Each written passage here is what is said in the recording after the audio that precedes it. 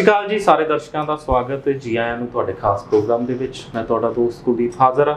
ਸੋ ਅੱਜ ਜਿਹੜੇ study visa expert ਨੂੰ ਸੱਦਾ ਦਿੱਤਾ ਗਿਆ, ਉਹਨੇ ਐਜੂਕੇਸ਼ਨ ਅਬਰੋਡ ਕੰਸਲਟੈਂਟਸ ਤੋਂ ਜਤਿੰਦਰ ਸਿੰਘ। ਪਹਿਲਾਂ ਵੀ ਕਾਫੀ ਵਾਰ ਇਸ ਮੰਚ ਦੇ ਜ਼ਰੀਏ ਤੁਸੀਂ ਉਹਨਾਂ ਤੇ ਰੂਬਰੂ ਹੋ ਚੁੱਕੇ ਹੋ ਜਾਂ ਵੱਖੋ ਵੱਖਰੇ ਸੋਸ਼ਲ ਮੀਡੀਆ ਪਲੇਟਫਾਰਮ ਤੇ ਵੀ ਜਿਹੜਾ ਐਕਟਿਵ ਰਹਿ ਕੇ ਤੁਹਾਨੂੰ ਸਟੱਡੀ ਵੀਜ਼ਾ ਦੇ ਬਾਰੇ ਜਾਣਕਾਰੀ ਦਿੰਦੇ ਰਹਿੰਦੇ ਨੇ। ਸੋ ਪਹਿਲਾਂ ਸਵਾਗਤ ਕਰ ਲਈ ਉਸ ਤੋਂ ਬਾਅਦ ਸਵਾਲ ਜਿਹੜੇ ਸ਼ੁਰੂ ਕਰਾਂਗੇ। ਸਰ ਬਹੁਤ ਬਹੁਤ ਸਵਾਗਤ। ਧੰਨਵਾਦ ਕੁਲਦੀਪ ਜੀ। ਜੀ ਸੋ ਅੱਜ ਦੀ ਜੇਕਰ ਗੱਲ ਕਰੀਏ ਪੰਜਾਬ ਦਾ ਜਿਹੜਾ ਸਟੂਡੈਂਟ ਯੂਕੇ ਨੂੰ ਲੈ ਕੇ ਬੜਾ ਇੱਕ ਇੰਟਰਸਟ ਦਿਖਾ ਰਿਹਾ। ਕਾਫੀ ਵੀਜ਼ਾ ਆ ਰਹੇ ਨੇ ਪਰ ਜਦੋਂ ਐਡਵਰਟਾਈਜ਼ਮੈਂਟ ਦੇਖਦੇ ਆ ਤਾਂ ਉਹ ਕਾਫੀ ਕਨਫਿਊਜ਼ ਕਰਨ ਵਾਲੀ ਹੈ। ਕੋਈ ਕਹਿੰਦਾ ਹੈ ਵਿਦਆਊਟ ਇੰਟਰਵਿਊ ਵੀਜ਼ਾ ਲੱਗੇਗਾ। ਕੋਈ ਕਹਿੰਦਾ ਹੈ ਕਿ ਇੰਟਰਵਿਊ ਜ਼ਰੂਰ ਆਏਗੀ ਚਾਹੇ ਉਹ ਐਮਬੈਸੀ ਵੱਲੋਂ ਲਈ ਜਾਏਗੀ ਜਾਂ ਯੂਨੀਵਰਸਿਟੀ ਵੱਲੋਂ ਲਈ ਜਾਏਗੀ। ਫਿਰ ਤੀਜਾ ਕੰਸਲਟੈਂਟ ਵੀਜ਼ਾ ਦਿਖਾ ਕੇ ਕਹਿੰਦਾ ਵੀ ਬਿਨਾਂ ਇੰਟਰਵਿਊ ਤੋਂ ਵੀਜ਼ਾ ਆ ਗਿਆ। ਸੋ ਕੀ ਫੈਕਟਰ ਰਹਿੰਦੇ ਨੇ ਇੰਟਰਵਿਊ ਦੇ ਪਿੱਛੇ? ਦੂਜੀ ਚੀਜ਼ ਰਹਿ ਜਾਂਦੀ ਵੀ ਪਰਸੈਂਟੇਜ ਕੋਈ ਕਹਿੰਦਾ ਹੈ 50% 60% ਤੋਂ ਘੱਟ ਨਹੀਂ ਹੋਣੀ ਚਾਹੀਦੀ। ਕੋਈ 35 40% ਨਾਲ ਵੀ। ਇਨਵਾਈਟ ਕਰ ਰਿਹਾ। ਸੋ ਅਸਲ ਸੱਚਾਈ ਕੀ ਹੈ?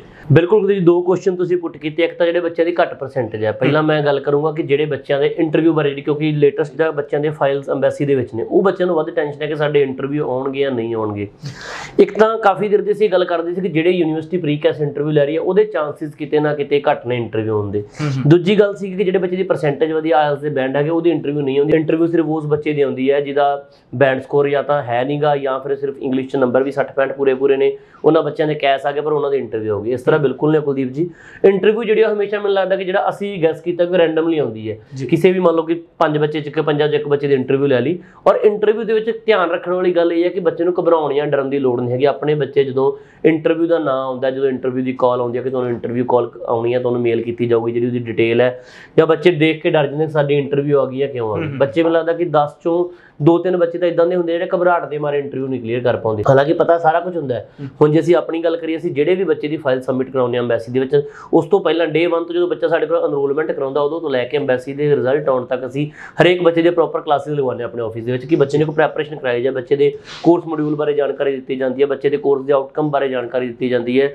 ਬੱਚੇ ਨੂੰ ਕੋਰਸ ਤੋਂ ਬਾਅਦ ਜਿਹੜੀ ਜਿਹੜੀ ਜੌਬਸ ਮਿਲਣੀਆਂ ਨੇ, ਉਹਨਾਂ ਬਾਰੇ ਜਾਣਕਾਰੀ ਦਿੱਤੀ ਜਾਂਦੀ ਹੈ। ਬੱਚੇ ਨੂੰ ਉੱਥੇ ਜਾ ਕੇ ਜਿਹੜੀ ਜਿਹੜੀ ਅਰੇਂਜਮੈਂਟਸ ਕਰਨੀਆਂ ਨੇ, ਚਾਹੇ ਉਹ ਅਕੋਮੋਡੇਸ਼ਨ ਹੈ, ਚਾਹੇ ਆਪਣਾ ਬੱਚੇ ਦੀ ਪਾਰਟ ਟਾਈਮ ਜੌਬ ਉਹ ਸਾਰੇ ਵਿੱਚ ਬੱਚੇ ਨੂੰ ਪ੍ਰੋਪਰ ਇੱਕ ਨੌਲੇਜ ਦਿੱਤੀ ਜਾਂਦੀ ਹੈ ਬਰੀਫ ਦੇ ਵਿੱਚ ਕਿਸ ਤਰੀਕੇ ਨਾਲ ਤੂੰ ਕੀ ਕੀ ਕਰਨਾ। ਔਰ ਜਦੋਂ ਬੱਚੇ ਦਾ ਇੰਟਰਵਿਊ ਹੁੰਦਾ ਕਿਤੇ ਨਾ ਕਿਤੇ ਜਦੋਂ ਬੱਚੇ ਘਬਰਾਉਂਦੇ ਨੇ ਉਹ ਬੱਚੇ ਘਬਰਾਉਂਦੇ ਨੇ ਕਿ ਸ਼ਾਇਦ ਇੰਟਰਵਿਊ 'ਚ ਪਤਾ ਨਹੀਂ ਸਾਨੂੰ ਕੀ ਇਹੋ ਜਿਹਾ ਪੁੱਛਣਗੇ। ਪਰ ਇੰਟਰਵਿਊ ਦੇ ਵਿੱਚ ਜਦੋਂ ਐਮਬੈਸੀ ਕਿਸੇ ਵੀ ਬੱਚੇ ਦਾ ਇੰਟਰਵਿਊ ਕਰਦੀ ਹੈ ਬੇਸਿਕ ਕੁਐਸਚਨ ਉਹਨੂੰ ਪੁੱਟ ਕਰਦੀ ਹੈ ਤੁਹਾਡਾ ਪਾਸਪੋਰਟ ਨੰਬਰ ਕੀ ਹੈ? ਤੁਸੀਂ ਇਸ ਯੂਨੀਵਰਸਿਟੀ ਕਿਉਂ ਅਪਲਾਈ ਕੀਤਾ ਜਾਂ ਜਿਹੜਾ ਕੋਰਸ ਤੁਸੀਂ ਅਪਲਾਈ ਕੀਤਾ ਫੋਰ ਐਗਜ਼ਾਮਪਲ ਤੁਸੀਂ ਐਮਬੀਏ ਅਪਲਾਈ ਕੀਤਾ ਹੈ ਐਮਐਸਸੀ ਅਪਲਾਈ ਕੀਤਾ ਹੈ ਤਾਂ ਇਸੇ ਕੋਰਸ 'ਚ ਪਾਰਟਿਕੂਲਰ ਕਿਉਂ ਅਪਲਾਈ ਕੀਤਾ। ਹੈ? ਪਾਰਟਿਕੂਲਰ ਇਸੇ ਯੂਨੀਵਰਸਿਟੀ 'ਚ ਕਿਉਂ ਅਪਲਾਈ ਕੀਤਾ ਹੈ? ਜਾਂ ਤੁਸੀਂ ਯੂਕੇ ਦੇ ਹੋਰ ਏਰੀਆ 'ਚ ਕਿਉਂ ਨਹੀਂ ਅਪਲਾਈ ਕੀਤਾ? ਜਾਂ ਇਸ ਤੋਂ ਇਲਾਵਾ ਤੁਸੀਂ ਕਿਹੜੀਆਂ ਯੂਨੀਵਰਸਿਟੀ ਸਰਚ ਕੀਤੀਆਂ ਸੀ? ਹੁਣ ਜਿਹੜਾ ਬੱਚਾ ਜੈਨੂਇਨ ਹੋਊਗਾ ਪੜ੍ਹਨ ਲਿਖਣ ਦੇ ਜਾ ਰਿਹਾ ਉਹਨੇ ਇਹ ਤਾਂ ਹੈ ਨਹੀਂ ਕਿ ਇੱਕ ਯੂਨੀਵਰਸਿਟੀ ਟਰਾਈ ਕੀਤੀ ਹੋਊਗੀ। ਹਮੇਸ਼ਾ ਬੱਚਾ ਦੋ ਜਾਂ ਤਿੰਨ ਯੂਨੀਵਰਸਿਟੀਜ਼ ਲੈ ਕੇ ਚੱਲਦਾ ਪਰ ਇਹ ਸਿਰਫ ਉਹਨਾਂ ਬੱਚਿਆਂ ਲਈ ਗੱਲ ਹੈ ਜਿਹੜੇ ਬੱਚੇ ਰਿਸਰਚ ਕਰਦੇ ਆ। ਇਸੇ ਕਰਕੇ ਹਰ ਵਾਰੀ ਇਹ ਵੀ ਨਾਲ ਜ਼ਰੂਰ ਕਹੀਦਾ ਹੈ ਕਿ ਕੋਈ ਵੀ ਬੱਚਾ ਜਿਹੜਾ ਕਿਸੇ ਵੀ ਕੰਟਰੀ ਅਪਲਾਈ ਕਰਨਾ ਚਾਹੁੰਦਾ ਹਮੇਸ਼ਾ ਰਿਸਰਚ ਕਰਿਆ ਕਰੋ। ਜਦੋਂ ਇਹ ਕੁਐਸਚਨ ਆਉਂਦੇ ਆ ਕਿ ਤੁਸੀਂ ਜੇ ਅੱਜ ਗ੍ਰੀਨਵਿਚ ਯੂਨੀਵਰਸਿਟੀ ਅਪਲਾਈ ਕੀਤਾ ਤੇ ਇਸ ਤੋਂ ਇਲਾਵਾ ਤੁਸੀਂ ਕਿਹੜੀ ਯੂਨੀਵਰਸਿਟੀ ਸਰਚ ਆਊਟ ਕੀਤੀ ਸੀ? ਜੇ ਬੱਚੇ ਨੇ ਯੂਨੀਵਰਸਿਟੀ ਆਫ ਈਸਟ ਲੰਡਨ ਜਾਂ ਯੂਨੀਵਰਸਿਟੀ ਆਫ ਵੈਸਟ ਲੰਡਨ ਜਾਂ ਬੱਚੇ ਨੇ ਕੋਈ ਸਕਾਟਲੈਂਡ ਦੀ ਯੂਨੀਵਰਸਿਟੀ ਸਰਚ ਕੀਤੀ ਹੋਊਗੀ ਜਾਂ ਵੇਲਸ ਦੀ ਕੀਤੀ ਹੋਊਗੀ ਜਾਂ ਮੈਨਚੈਸਟਰ ਦੀ ਕੀਤੀ ਹੋਊਗੀ ਤਾਂ ਬੱਚਾ ਦੱਸੂਗਾ ਕਿ ਆਹ ਯੂਨੀਵਰਸਿਟੀ ਸਰਚ ਕੀਤੀ ਸੀ ਪਰ ਮੈਨੂੰ ਇਹਦੇ ਵਿੱਚ ਇਹ ਬੈਟਰ ਲੱਗਾ ਮੈਂ ਤਾਂ ਇਹਦੇ ਵਿੱਚ ਆਇਆ। ਹੁਣ ਜਿਹੜੇ ਬੱਚੇ ਨੇ ਕੁਲਦੀਪ ਜੀ ਰਿਸਰਚ ਨਹੀਂ ਕੀਤੀ ਸਿਰਫ ਏਜੰਟ ਕੋਲ ਜਾ ਕੇ ਫਾਈਲ ਰੱਖੀ ਤੇ ਇਹ ਦੱਸਿਆ ਕਿ ਮੈਂ ਯੂਕੇ ਜਾਣਾ ਜਾਂ ਮੈਂ ਕੈਨੇਡਾ ਜਾਣਾ ਤਾਂ ਉਹ ਬੱਚਿਆਂ ਨੂੰ ਕਿਤੇ ਨਾ ਕਿਤੇ ਇੰਟਰਵਿਊ ਦੇ ਵਿੱਚ ਵੀ ਪ੍ਰੋਬਲਮ ਆਉਣੀ ਹੈ। ਦੂਜੀ ਗੱਲ ਉਹਨਾਂ ਬੱਚਿਆਂ ਦੀ ਆਉਂਦੀ ਹੈ ਜਿਹੜੇ ਬੱਚਿਆਂ ਦੀ ਪਰਸੈਂਟੇਜ ਲੋ ਹੈ ਕਿਉਂਕਿ ਐਡਸ ਜਿਹੜੀਆਂ ਨੇ ਮੈਨੂੰ ਲੱਗਦਾ ਕਿ ਤੇ 35% ਨੰਬਰਾਂ ਤੋਂ ਐਡ ਹੋ ਕੇ 80% ਤੱਕ ਜਾ ਰਹੀਆਂ ਨੇ। ਅੱਜ ਅਸੀਂ ਕਹਿ ਰਹੇ ਹਾਂ ਕਿ ਜੇਕਰ ਤੁਹਾਡੇ ਇੰਗਲਿਸ਼ ਦੇ ਵਿੱਚ 80% ਨੰਬਰ ਨੇ ਤੁਹਾਨੂੰ ਆਇਲਸ ਤੇ ਵੇਵ ਆਫ ਮਿਲੇਗਾ। ਜੇਕਰ ਤੁਸੀਂ ਸਟੇਟ ਬੋਰਡ ਦੇ ਹੋ ਜੇਕਰ ਸੀਬੀਐਸਈ ਜਾਂ ਆਈਸੀਐਸਈ ਬੋਰਡ ਦੇ ਹੋ ਤਾਂ 70% ਤੇ ਵੀ ਵੇਵਰ ਮਿਲ ਸਕਦਾ ਹੈ। ਜੇਕਰ ਪੰਜਾਬ ਬੋਰਡ ਓਵਰਆਲ ਨੰਬਰ 45% ਨੇ ਇੰਗਲਿਸ਼ ਦੇ ਵਿੱਚ 60 ਨੰਬਰ ਨੇ ਆਇਲਸ ਨਹੀਂ ਕੀਤੀ ਹੋਈ ਤਾਂ ਵੀ ਤੁਹਾਨੂੰ ਆਇਲਸ ਦਾ ਵੇਵਰ ਮਿਲ ਸਕਦਾ ਹੁਣ ਡਿਫਰੈਂਟ ਕਿੱਥੇ ਹੈ ਕੁਲਦੀਪ ਜੀ? ਕਿ ਹਰੇਕ ਬੱਚੇ ਦੀ ਹਰੇਕ ਅਲੱਗ ਯੂਨੀਵਰਸਿਟੀ 'ਚ ਕੈਟਾਗਰੀ ਹੈ। ਅੱਜ ਤੁਸੀਂ ਟੀ ਸਾਈਡ ਯੂਨੀਵਰਸਿਟੀ ਅਪਲਾਈ ਕਰਦੇ ਹੋ ਲੀਡਸ ਡਾਇਰੈਕਟ ਯੂਨੀਵਰਸਿਟੀ ਅਪਲਾਈ ਕਰਦੇ ਹੋ ਡਾਇਰੈਕਟਲੀ ਅਪਲਾਈ ਕਰਦੇ ਹੋ ਪੰਜਾਬ ਦਾ ਬੱਚਾ ਹਰਿਆਣੇ ਦਾ ਬੱਚਾ ਗੁਜਰਾਤ ਜਾਂ ਯੂਪੀ ਦਾ ਬੱਚਾ ਤਾਂ ਉਹਦੇ ਵਿੱਚ ਬੱਚੇ ਦੀ ਜਿਹੜੀ ਪਰਸੈਂਟੇਜ ਹੈ ਉਹ 80% ਜਾਂ 85% ਯੂਨੀਵਰਸਿਟੀ ਮੰਗਦੀ ਹੈ। ਪਰ ਜੇ ਤੁਸੀਂ ਸਟੱਡੀ ਗਰੁੱਪ ਦੇ ਥਰੂ ਕਰਦੇ ਹੋ ਇੰਟਰਨੈਸ਼ਨਲ ਈਅਰ 1 ਦੇ ਥਰੂ ਕਰਦੇ ਹੋ ਤਾਂ ਤੁਹਾਨੂੰ ਜਿਹੜੀ ਉਹਦੇ ਵਿੱਚ ਜਿਹੜੀ ਇੰਗਲਿਸ਼ ਦਾ ਵੇਵ ਆਫ ਮਿਲਦਾ ਕਿਉਂਕਿ ਤੁਹਾਨੂੰ ਇੰਟਰਨੈਸ਼ਨਲ ਈਅਰ 1 ਪੜ੍ਹਨਾ ਪੈਣਾ ਹੁਣ ਇੰਟਰਨੈਸ਼ਨਲ ਈਅਰ 1 ਦਾ ਇਹ ਮਤਲਬ ਨਹੀਂ ਹੈਗਾ ਕਿ ਤੁਹਾਨੂੰ ਕੋਈ ਜਾ ਕੇ ਫਾਊਂਡੇਸ਼ਨ ਕੋਰਸ ਲੱਗਣਾ ਹੈ। ਜਾਂ ਤੁਹਾਨੂੰ ਕੋਈ ਐਕਸਟਰਾ ਫੀਸ ਪੇ ਕਰਨੀ ਪੈਣੀ, ਤੁਹਾਡੀ ਨਾਰਮਲ ਉਹੀ 12000 13000 ਪਾਉਂਡ ਸਾਲ ਦੀ ਫੀਸ ਜਾਰੀ, ਜਦੋਂ 7 ਤੋਂ 8 ਮਹੀਨੇ ਦੀ ਫੀਸ ਪੇ ਕਰਨੀ ਹੈ। ਸਿਰਫ ਇਹੀ ਸ਼ਰਤ ਹੈ ਕਿ ਤੁਹਾਡੀ ਜਿਹੜੀ ਫੀਸ ਹੈ 6 ਮਹੀਨੇ ਤੋਂ ਵੱਧ ਪੇ ਹੋਣੀ ਹੈ ਔਰ ਬੱਚੇ ਦਾ ਇੰਟਰਵਿਊ ਉਹਦੇ ਵਿੱਚ ਲਾਜ਼ਮੀ ਹੋਣਾ ਹੈ। ਤੇ ਇੰਟਰਵਿਊ ਮੈਨੂੰ ਲੱਗਦਾ ਅੱਜ ਦੀ ਡੇਟ 'ਚ 99% ਯੂਨੀਵਰਸਿਟੀਜ਼ ਇੰਟਰਵਿਊ ਲੈ ਰਹੇ ਨੇ, ਕੋਈ 1-2% ਯੂਨੀਵਰਸਿਟੀ ਹੈ ਜਿਹੜੇ ਇੰਟਰਵਿਊ ਨਹੀਂ ਲੈ ਰਹੀ। ਸੋ ਇੰਟਰਵਿਊ ਘਬਰਾਉਣ ਵਾਲੀ ਗੱਲ ਨਹੀਂ ਹੈਗੀ। ਪਰਸੈਂਟੇਜ ਲੋ ਹੈ ਤਾਂ ਵੀ ਤੁਸੀਂ ਅੱਜ ਯੂਕੇ ਅਪਲਾਈ ਕਰ ਸਕਦੇ ਹੋ, ਪਰ 2 ਤੋਂ 3 ਯੂਨੀਵਰਸਿਟੀ ਦੇ ਵਿੱਚ। ਪਰਸੈਂਟੇਜ ਤੁਹਾਡੀ ਹਾਈ ਹੈ 80% ਇੰਗਲਿਸ਼ 'ਚ ਹੈਗੇ ਨੇ ਓਵਰਆਲ 60% ਨੰਬਰ ਨੇ ਤਾਂ ਤੁਸੀਂ ਯੂਕੇ ਦੀ ਕਿਸੇ ਵੀ ਯੂਨੀਵਰਸਿਟੀ 'ਚ ਵੇਵਰ ਲਈ ਅਪਲਾਈ ਕਰ ਸਕਦੇ ਹੋ। ਉਹਨਾਂ ਦੇ ਵਿੱਚ ਵੀ ਕਿਸੇ ਵੀ ਯੂਨੀਵਰਸਿਟੀ ਦਾ ਇਹ ਮਤਲਬ ਨਹੀਂ ਕਿ ਤੁਸੀਂ ਹਰੇਕ ਯੂਨੀਵਰਸਿਟੀ 'ਚ ਕਰ ਸਕਦੇ ਹੋ। ਉਹਦੇ ਵਿੱਚ ਵੀ ਯੂਨੀਵਰਸਿਟੀਆਂ ਦੇ ਵਿੱਚ ਕੁਝ ਯੂਨੀਵਰਸਿਟੀਆਂ ਇਦਾਂ ਦੀਆਂ ਜਿਹੜੇ ਵਿਦਆਊਟ ਹੈਲਥ ਬੱਚਾ ਐਂਟਰਟੇਨ ਹੀ ਨਹੀਂ ਕਰਦੀਆਂ। ਸੋ ਕੋਸ਼ਿਸ਼ ਇਹ ਕਰੋ ਜੇ ਜਨਵਰੀ ਇਨਟੇਕ ਅਪਲਾਈ ਕਰਨਾ ਚਾਹੁੰਦੇ ਹੋ ਪਰਸੈਂਟੇਜ ਜੇ ਓਵਰਆਲ 55 ਹੈ 60 ਹੈ। ਚਾਹੇ ਪਲੱਸ 2 ਕੀਤੀ ਹੈ ਚਾਹੇ ਗ੍ਰੈਜੂਏਸ਼ਨ ਕੀਤੀ ਹੈ। ਸਟੱਡੀ ਤੋਂ ਬਾਅਦ 2-4 ਸਾਲ ਦਾ ਗੈਪ ਹੈ ਪਲੱਸ 2 ਤੋਂ ਬਾਅਦ ਗ੍ਰੈਜੂਏਸ਼ਨ ਕੀਤੀ ਹੈ 5-7 ਸਾਲ ਦਾ ਗੈਪ ਹੈ। ਕੋਸ਼ਿਸ਼ ਕਰੋ ਕੋਈ ਨਾ ਕੋਈ ਇੰਗਲਿਸ਼ ਟੈਸਟ ਚਾਹੇ ਆਇਲਸ ਕਰੋ ਪੀਟੀ ਕਰੋ ਡਿਊਲਿੰਗੋ ਕਰੋ ਕੋਈ ਨਾ ਕੋਈ ਟੈਸਟ ਤੁਹਾਡੇ ਕੋਲ ਲਾਜ਼ਮੀ ਹੋਏ ਤਾਂ ਕਿ ਜੇ ਇਨ ਕੇਸ ਯੂਨੀਵਰਸਿਟੀਆਂ ਜਨਵਰੀ ਦੇ ਵਿੱਚ ਤੁਹਾਨੂੰ ਕਹਿਣ ਕਿ ਸਾਨੂੰ ਆਇਲਸ ਦਾ ਵੇਵਰ ਅਸੀਂ ਜਤਾ ਦੇਵਾਂਗੇ ਸਾਡੇ ਕੋਲ ਆਇਲਸ ਦਾ ਟੈਸਟ ਹੋਊਗਾ ਚਾਹੇ ਯੂਕੇ ਵੀ ਦੀ ਆਇਲਸ ਹੋਏ। ਮੈਂ ਜ਼ਿਆਦਾਤਰ ਬੱਚਿਆਂ ਨੂੰ ਸੁਜੈਸਟ ਕਰੂੰਗਾ ਕਿ ਯੂਕੇ ਵੀ ਦੀ ਆਇਲਸ ਕਰੋ ਕਿਉਂਕਿ ਉਹਦੇ ਵਿੱਚ ਜੇਕਰ ਤੁਹਾਡੇ ਜੇ ਨਾਰਮਲ ਤੁਹਾਨੂੰ ਆਈਡੀਪੀ ਆਇਲਸ ਦੇ ਵਿੱਚ 6 ਬੈਂਡ ਲੈਣੇ ਪੈਣੇ ਤੇ ਯੂਕੇ ਵੀ ਤੁਹਾਡੇ 5.5 ਬੈਂਡ ਵੀ ਚੱਲ ਜਾਣੇ ਆ। ਔਰ ਨਾਟ ਲੈਸ ਦਨ 5 ਦਾ ਕੰਮ ਵੀ ਤੁਹਾਡਾ ਚੱਲ ਜਾਣਾ। ਸੋ ਕੋਸ਼ਿਸ਼ ਕਰੋ ਕਿ ਕੋਈ ਨਾ ਕੋਈ ਇੰਗਲਿਸ਼ ਟੈਸਟ ਜ਼ਰੂਰ ਦਿਓ ਜੇਕਰ ਤੁਸੀਂ ਯੂਕੇ 2022 ਜਨਵਰੀ ਇਨਟੇਕ ਅਪਲਾਈ ਕਰਨਾ ਚਾਹੁੰਦੇ ਹੋ। ਔਰ ਮੇਨ ਗੱਲ ਕਿ ਟਾਈਮ ਬਹੁਤ ਘੱਟ ਹੈ ਜਨਵਰੀ ਲਈ ਇਹ ਨਾ ਸੋਚੋ ਕਿ ਹਜੇ ਆਪਣਾ ਸਤੰਬਰ ਖਤਮ ਹੋਇਆ ਤੇ ਅਸੀਂ ਹੁਣੇ ਹੀ ਟਰਾਈ ਕਰਕੇ ਕੀ ਕਰਨਾ ਹੈ। ਜਨਵਰੀ ਤੁਹਾਡੇ ਕੋਲ ਸਿਰਫ 2 ਮਹੀਨੇ ਪੈਂਡਿੰਗ ਨੇ ਸੀਟਾਂ ਬਹੁਤ ਜਲਦੀ ਭਰਨੀਆਂ ਨੇ ਕਿਉਂਕਿ ਬਹੁਤ ਜ਼ਿਆਦਾ ਬੱਚਾ ਯੂਕੇ ਦੇ ਵਿੱਚ ਮੂਵ ਹੋ ਰਿਹਾ। ਬਿਕੋਜ਼ ਆਫ ਯੂਕੇ ਦੀ ਜਿਹੜੀ ਐਜੂਕੇਸ਼ਨ ਹੈ ਉੱਥੋਂ ਜਿਹੜਾ ਸਟੈਂਡਰਡ ਆਫ ਲਿਵਿੰਗ ਆ ਉਹ ਸਾਰੀਆਂ ਚੀਜ਼ਾਂ ਨੂੰ ਦੇਖਦੇ ਹੋ ਅੱਜ ਦੀ ਡੇਟ 'ਚ, ਸਭ ਤੋਂ ਜ਼ਿਆਦਾ ਬੱਚਾ ਜਿਹੜਾ ਯੂਕੇ ਜਾ ਰਿਹਾ, ਸੋ ਜਲਦੀ ਕਰੋ ਜਿੰਨੀ ਹੋ ਸਕਦਾ ਤੇ ਜ਼ਿਆਦਾ ਜਾਣਕਾਰੀ ਲਈ ਸਾਡੇ ਆਫਿਸ ਜ਼ਰੂਰ ਵਿਜ਼ਿਟ ਕਰਿਆ ਕਰੋ ਔਰ ਆਫਿਸ ਵਿਜ਼ਿਟ ਕਰਨ ਤੋਂ ਪਹਿਲਾਂ ਆਪਣੇ origignal ਡਾਕੂਮੈਂਟਸ ਨਾਲ ਲੈ ਕੇ ਆਇਆ ਕਰੋ ਤਾਂ ਕਿ ਤੁਹਾਨੂੰ ਮੌਕੇ ਤੇ ਜਿਹੜੀ ਸਹੀ ਅਸੈਸਮੈਂਟ ਉਹ ਦਿੱਤੀ ਜਾ ਸਕੇ। ਜੀ ਸੋ ਆਫ ਦਾ ਟਰੈਕ ਵੀ ਆਪਾਂ ਗੱਲ ਕਰ ਰਹੇ ਸੀ, ਮੈਂ ਚਾਹਾਂਗਾ ਕਿ ਬੱਚਿਆਂ ਨੂੰ ਵੀ ਔਨ ਸਕਰੀਨ ਦੱਸਿਆ ਜਾਵੇ ਕਿ ਇਹ ਫੈਕਟਰ ਰਹਿੰਦਾ ਵੀ ਬੱਚਾ ਜਦੋਂ ਲੇਟ ਅਪਲਾਈ ਕਰ ਰਿਹਾ ਜਾਂ ਕਲਾਸਾਂ ਜਿਹੜੀਆਂ ਸ਼ੁਰੂ ਹੋਣ ਦਾ ਟਾਈਮ ਜਿਵੇਂ ਜਿਵੇਂ ਨੇੜੇ ਆ ਰਿਹਾ, ਤਾਂ ਕਿਤੇ ਨਾ ਕਿਤੇ ਐਮਬੈਸੀ ਸਟ੍ਰਿਕਟ ਹੁੰਦੀ ਜਾਂਦੀ ਹੈ। ਸ਼ੁਰੂ ਦੇ ਵਿੱਚ ਵੀਜ਼ਾ ਬੜੇ ਈਜ਼ੀਲੀ ਗ੍ਰਾਂਟ ਕੀਤੇ ਜਾਂਦੇ ਨੇ। ਜਿਵੇਂ ਜਿਵੇਂ ਉਹਨਾਂ ਦੇ ਕੋਲ ਸਟੂਡੈਂਟ ਆਂਦਾ ਰਹਿੰਦਾ, ਤਾਂ ਅੱਗੇ ਅੱਗੇ ਸਟ੍ਰਿਕਨੈਸ ਜਿਹੜੀ ਵੱਧਦੀ ਰਹਿੰਦੀ। ਸੋ ਬੱਚਾ ਜਲਦੀ ਅਪਲਾਈ ਕਰ ਲਿਆ ਕਰੇ। ਤਾਂ ਹੀ ਕੁਲਦੀਪ ਜੀ ਮੈਂ ਜਿਵੇਂ ਪਹਿਲਾਂ ਲਾਸਟ ਆਨਸਰ ਦੇ ਵਿੱਚ ਵੀ ਇਹੀ ਗੱਲ ਕਹੀ ਹੈ ਕਿ ਜਦੋਂ ਬੱਚਾ ਅਪਲਾਈ ਜਨਵਰੀ ਇਨਟੇਕ ਲਈ ਕਰਨਾ ਚਾਹੁੰਦਾ ਤਾਂ ਹੁਣੇ ਅਪਲਾਈ ਕਰ ਦੇ ਇੱਕ ਬੱਚਾ ਜਨਵਰੀ ਇਨਟੇਕ ਲਈ ਅਪਲਾਈ ਹੀ ਦਸੰਬਰ 'ਚ ਕਰਦਾ ਉਹਦੇ ਫੰਡ ਵੀ 28 ਦਿਨ ਪੁਰਾਣੇ ਹੋਣੇ ਆ ਉਹਨੂੰ ਕੈਸ਼ ਦੇ ਲਈ ਵੀ ਟਾਈਮ ਲੱਗਣਾ ਉਹਦੀ ਆਫਰ ਲੈਟਰ ਜਨਰੇਟ ਹੋਣ ਨੂੰ ਵੀ ਟਾਈਮ ਲੱਗਣਾ। ਫਿਰ ਇਹ ਹੋਊਗਾ ਕਿ 10 ਜਨਵਰੀ ਦੀਆਂ ਕਲਾਸਾਂ ਨੇ 8 ਜਨਵਰੀ ਜਾਂ 10 ਜਨਵਰੀ ਨੂੰ ਐਮਬੈਸੀ 'ਚ ਫਾਈਲ ਲੱਗ ਰਹੀ ਹੈ। ਸੋ ਕਿਤੇ ਨਾ ਕਿਤੇ ਏਜੰਟ ਵੀ ਜਲਦੀ ਕਰੂਗਾ ਬੱਚੇ ਨੂੰ ਵੀ ਜਲਦੀ ਹੋਊਗੀ ਤਾਂ ਕਿਤੇ ਨਾ ਕਿਤੇ ਉਸ ਦੌਰਾਨ ਕਿਤੇ ਨਾ ਫਾਈਲਸ ਬਹੁਤ ਜ਼ਿਆਦਾ ਹੋ ਜਾਂਦੀਆਂ ਨੇ। ਅੱਜ ਜਿਹੜਾ ਬੱਚਾ ਚੂਜ਼ੀ ਹੋ ਜਾਂਦੀ ਜੀ ਬਿਲਕੁਲ ਅੱਜ ਜਿਹੜਾ ਬੱਚਾ ਐਡਵਾਂਸ ਚ ਅਪਲਾਈ ਕਰਦਾ ਇਹ ਨਹੀਂਗਾ ਕਿ ਤੁਸੀਂ ਯੂਕੇ ਅਪਲਾਈ ਕਰਨ ਦਾ ਮਹੀਨਾ ਪਹਿਲਾਂ 2 ਮਹੀਨੇ ਪਹਿਲਾਂ ਅਪਲਾਈ ਕਰਨਾ ਹੈ। ਤੁਹਾਡਾ ਜਦੋਂ ਚਾਹੇ 3 ਮਹੀਨੇ 4 ਮਹੀਨੇ ਪਹਿਲਾਂ ਕੈਸ਼ ਆ ਗਿਆ ਹੁਣ ਜਿਹੜਾ ਬੱਚਾ ਜਨਵਰੀ ਇਨਟੇਕ ਅਪਲਾਈ ਕਰੂਗਾ ਉਹਦੇ ਕੈਸ਼ ਜਿਹੜੇ ਅਕਤੂਬਰ ਚ ਆ ਜਾਣੇ ਆ। ਸੋ ਬੱਚਾ ਅਕਤੂਬਰ ਚ ਵੀ ਵੀਜ਼ਾ ਅਪਲਾਈ ਕਰ ਸਕਦਾ ਹੈ ਔਰ ਅਕਤੂਬਰ ਚ ਹੀ ਬੱਚੇ ਦਾ ਵੀਜ਼ਾ ਆ ਜਾਣਾ। ਇਹ ਨਹੀਂ ਕਿ ਬੱਚਾ ਅਕਤੂਬਰ ਚ ਅਪਲਾਈ ਕਰੂਗਾ ਤਾਂ ਵੀਜ਼ਾ ਦੇਣ ਨੂੰ ਟਾਈਮ 2 ਮਹੀਨੇ ਦਾ ਲਊਗਾ ਐਮਬੈਸੀ ਐਮਬੈਸੀ ਜਿਹੜਾ ਪ੍ਰੋਸੈਸਿੰਗ ਟਾਈਮ ਹੈ ਜੇਕਰ ਤੁਸੀਂ ਨਾਰਮਲ ਚਲਾਉਂਦੇ ਹੋ ਪ੍ਰਾਇੋਰਟੀ ਚਲਾਉਂਦੇ ਹੋ ਉਹੀ 5 ਦਿਨ ਤੋਂ ਲੈ ਕੇ 15 ਦਿਨ ਦਾ ਟਾਈਮ ਉਹਦੇ ਵਿੱਚ ਤੁਹਾਨੂੰ ਵੀਜ਼ਾ ਗ੍ਰਾਂਟ ਹੋ ਜਾਣਾ। ਤੁਸੀਂ ਜਾ ਵੀ ਸਕਦੇ ਹੋ ਤੁਸੀਂ ਟਰੈਵਲ ਵੀ ਕਰ ਸਕਦੇ ਹੋ। ਸੋ ਕੋਸ਼ਿਸ਼ ਕਰਿਆ ਕਰੋ ਜਿੰਨੀ ਜਲਦੀ ਹੁੰਦਾ ਅਪਲਾਈ ਕਰੋ ਕਿਉਂਕਿ ਲੇਟ ਦੇ ਵਿੱਚ ਕਿਤੇ ਨਾ ਕਿਤੇ ਦਿੱਕਤ ਆਉਂਦੀ ਹੈ। ਕੱਲ ਤੁਹਾਡਾ ਵੀਜ਼ਾ ਆਉਣ ਦੇ ਵਿੱਚ 5 ਦਿਨ ਦੀ ਜਗ੍ਹਾ 10 ਦਿਨ ਲੱਗ ਗਏ ਤੁਹਾਡੀਆਂ ਕਲਾਸਾਂ ਸਟਾਰਟ ਹੋ ਗਈਆਂ ਤੁਹਾਡੀ ਆਨਲਾਈਨ ਐਨਰੋਲਮੈਂਟ ਨਹੀਂ ਹੋਈ। ਇਧਰੋਂ ਕੋਈ ਟਿਕਟ ਮਿਲਣ 'ਚ ਪ੍ਰੋਬਲਮ ਹੋ ਗਈ ਕਈ ਵਾਰੀ ਕੋਈ ਫਲਾਈਟ 'ਚ ਦਿੱਕਤ ਆ ਜਾਂਦੀ ਹੈ। ਸੋ ਜਿੰਨਾ ਕੁ ਬੱਚਾ ਐਡਵਾਂਸ ਅਪਲਾਈ ਕਰਦਾ ਕਿਤੇ ਨਾ ਕਿਤੇ ਬੱਚੇ ਨੂੰ ਬੈਨੀਫਿਟ ਕੁਲਦੀਪ ਜੀ ਉਹਦੇ ਵਿੱਚ ਵੱਧ ਮਿਲਦੇ ਨੇ। ਜੀ।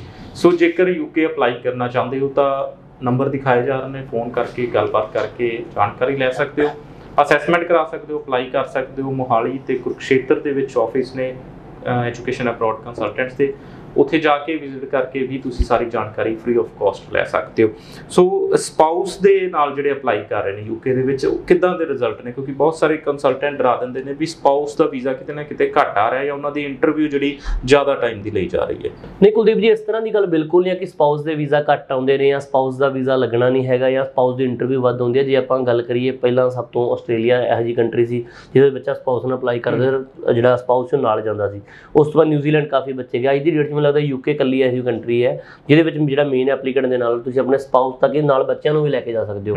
ਔਰ ਇਹ ਨਹੀਂ ਕਿ ਇੱਕ ਬੱਚਾ ਤਾਂ ਹੀ ਲੈ ਕੇ ਜਾ ਸਕਦੇ ਦੋ ਬੱਚੇ ਨੇ ਤੁਸੀਂ ਲੈ ਕੇ ਨਹੀਂ ਜਾ ਸਕਦੇ। ਸੋ ਤੁਸੀਂ ਆਪਣੇ ਦੋ ਬੱਚਿਆਂ ਤੱਕ ਨੂੰ ਨਾਲ ਲੈ ਕੇ ਜਾ ਸਕਦੇ ਹੋ। ਬਸ਼ਰਤੇ ਕਿ ਅਗਰ ਤੁਸੀਂ ਟਾਈਮਲੀ ਅਪਲਾਈ ਕਰੋ ਫੰਡ ਪ੍ਰੋਪਰ ਤਰੀਕੇ ਨਾਲ ਸ਼ੋਅ ਕਰੋ। ਕਈ ਵਾਰੀ ਕੀ ਹੁੰਦਾ ਕਿ ਮੇਨ ਐਪਲੀਕੈਂਟ ਦੇ ਫੰਡ ਤੁਸੀਂ ਪ੍ਰੋਪਰ ਸ਼ੋਅ ਕਰਦੇ ਸਪਾਊਸ ਦੇ ਫੰਡ ਨਹੀਂ ਪ੍ਰੋਪਰ ਸ਼ੋਅ ਕੀਤੇ ਤਾਂ ਵੀ ਇੰਟਰਵਿਊ ਆ ਜਾਂਦੀ ਹੈ। ਕਈ ਵਾਰ ਦੋਨਾਂ ਦੇ ਅਕਾਊਂਟ ਜਿਹੜੇ ਜੁਆਇੰਟ ਹੁੰਦੇ ਨੇ ਵਿੱਚ ਜਿਹੜੇ ਪ੍ਰੋਪਰ ਇੱਕ ਐਵੀਡੈਂਸ ਦੇਣੇ ਹੁੰਦੇ ਨੇ ਮੈਰਿਜ ਦੇ ਉਹ ਨਹੀਂ ਦਿੱਤੇ ਤਾਂ ਇੰਟਰਵਿਊ ਆ ਜਾਂਦੀ ਹੈ। ਤੀਜੀ ਗੱਲ ਜਿਵੇਂ ਆਪਾਂ ਗੱਲ ਕੀਤੀ ਕਿ ਪ੍ਰੋਪਰ ਤੁਸੀਂ ਟਾਈਮਲੀ ਅਪਲਾਈ ਕਰਦੇ ਹੋ ਟਾਈਮ ਟੂ ਟਾਈਮ ਤਾਂ ਵੀ ਕਈ ਵਾਰ ਇੰਟਰਵਿਊ ਦੇ ਚਾਂਸ ਹੋ ਜਾਂਦੇ ਨੇ। ਪਰ ਅਦਰਵਾਈਜ਼ ਇਹ ਨਹੀਂ ਹੈਗਾ ਕਿ ਯੂਕੇ ਦੇ ਵਿੱਚ ਬੱਚੇ ਨੇ ਅਪਲਾਈ ਕੀਤਾ ਹੋਇਆ ਮੇਨ ਐਪਲੀਕੈਂਟ ਦਾ ਵੀਜ਼ਾ ਆ ਗਿਆ ਔਰ ਸਪਾਊਸ ਦਾ ਰਿਜੈਕਟ ਹੋਇਆ ਹੋਏ ਜੇ ਕਿਸੇ ਦਾ ਕਿਸੇ ਕਾਰਨ ਕਰਕੇ ਰਿਜੈਕਟ ਵੀ ਹੋਇਆ ਹੋਇਆ ਕਿਸੇ ਨੇ ਕਿਤੋਂ ਅਪਲਾਈ ਕੀਤਾ ਸੀ ਮੇਨ ਐਪਲੀਕੈਂਟ ਦਾ ਵੀਜ਼ਾ ਆ ਗਿਆ ਸਪਾਊਸ ਦਾ ਦਾ ਵੀਜ਼ਾ ਜੇ ਤੁਸੀਂ ਅਪਲਾਈ ਨਹੀਂ ਕੀਤਾ ਅਪਲਾਈ ਕਰਨ ਤੋਂ ਡਰ ਰਹੇ ਹੋ ਜਾਂ ਅਪਲਾਈ ਕੀਤਾ ਤਾਂ ਰਿਜੈਕਟ ਆ ਗਿਆ ਤਾਂ ਵੀ ਤੁਸੀਂ ਸਾਨੂੰ ਸੰਪਰਕ ਕਰ ਸਕਦੇ ਹੋ ਔਰ ਈਵਨ ਜਿਹੜੇ ਬੱਚੇ ਨੇ ਪਲੱਸ 2 ਤੋਂ ਬਾਅਦ ਕੋਈ ਬੱਚਾ ਜੇਕਰ ਯੂਕੇ ਦੇ ਵਿੱਚ ਰਹਿ ਰਿਹਾ ਹੈ। ਉਹ ਆਪਣੇ ਸਪਾਊਸ ਨੂੰ ਇੰਡੀਆ ਤੋਂ ਬੁਲਾਉਣਾ ਚਾਹੁੰਦਾ ਤਾਂ ਉਹ ਬੱਚੇ ਵੀ ਸਾਨੂੰ ਕੰਟੈਕਟ ਕਰ ਸਕਦੇ ਨੇ ਕਿਉਂਕਿ ਜਿੱਥੇ ਆਪਾਂ ਮੇਜਰ ਗੱਲ ਕਰਦੇ ਕਿ ਆਰਕੇ ਆਫ ਲੈਵਲ 6 ਦੇ ਅੰਡਰ ਜਿਹੜੇ ਬੱਚੇ ਦੀ ਸਟੱਡੀ ਆਉਂਦੀ ਹੈ ਸਿਰਫ ਉਹੀ ਬੱਚਾ ਆਪਣੇ ਸਪਾਊਸ ਨੂੰ ਨਾਲ ਲੈ ਕੇ ਜਾ ਸਕਦਾ ਹੈ ਸੋ ਜਨਵਰੀ ਇਨਟੇਕ ਲਈ ਜੇ ਤੁਸੀਂ ਅਪਲਾਈ ਕਰਨਾ ਚਾਹੁੰਦੇ ਹੋ ਤੁਸੀਂ ਗ੍ਰੈਜੂਏਸ਼ਨ ਕੀਤੀ ਹੋਈ ਹੈ ਤਾਂ ਤੁਸੀਂ ਆਪਣੇ ਸਪਾਊਸ ਨੂੰ ਜਿਹੜਾ ਨਾਲ ਹੀ ਲੈ ਕੇ ਜਾ ਸਕਦੇ ਹੋ ਬੱਚੇ ਵੀ ਨਾਲ ਲੈ ਕੇ ਜਾ ਸਕਦੇ ਹੋ। ਫੰਡ ਤੁਸੀਂ ਸਿਰਫ ਐਕਸਟਰਾ ਸ਼ੋ ਕਰਨੇ ਨੇ ਉਹਦੇ ਵਿੱਚ ਵੀ ਸਿਰਫ ਲਿਵਿੰਗ ਐਕਸਪੈਂਸ ਆਉਣੇ ਆ। ਸਟੱਡੀ ਦੇ ਜੇ ਤੁਸੀਂ ਫੀਸ 6 ਮੰਥ ਦੀ ਪੇ ਕਰ ਰਹੇ ਹੋ ਪੈਂਡਿੰਗ ਫੀਸ ਪਲੱਸ ਆਪਣੇ ਲਿਵਿੰਗ ਐਕਸਪੈਂਸ ਪਲੱਸ ਸਪਾਊਸ ਦੇ ਲਿਵਿੰਗ ਐਕਸਪੈਂਸ ਪਲੱਸ ਜੇ ਤੁਸੀਂ ਬੱਚੇ ਨੂੰ ਨਾਲ ਲੈ ਕੇ ਜਾ ਰਹੇ ਹੋ ਤਾਂ ਬੱਚੇ ਦੇ ਲਿਵਿੰਗ ਐਕਸਪੈਂਸ ਸ਼ੋ ਕਰਨੇ ਆ।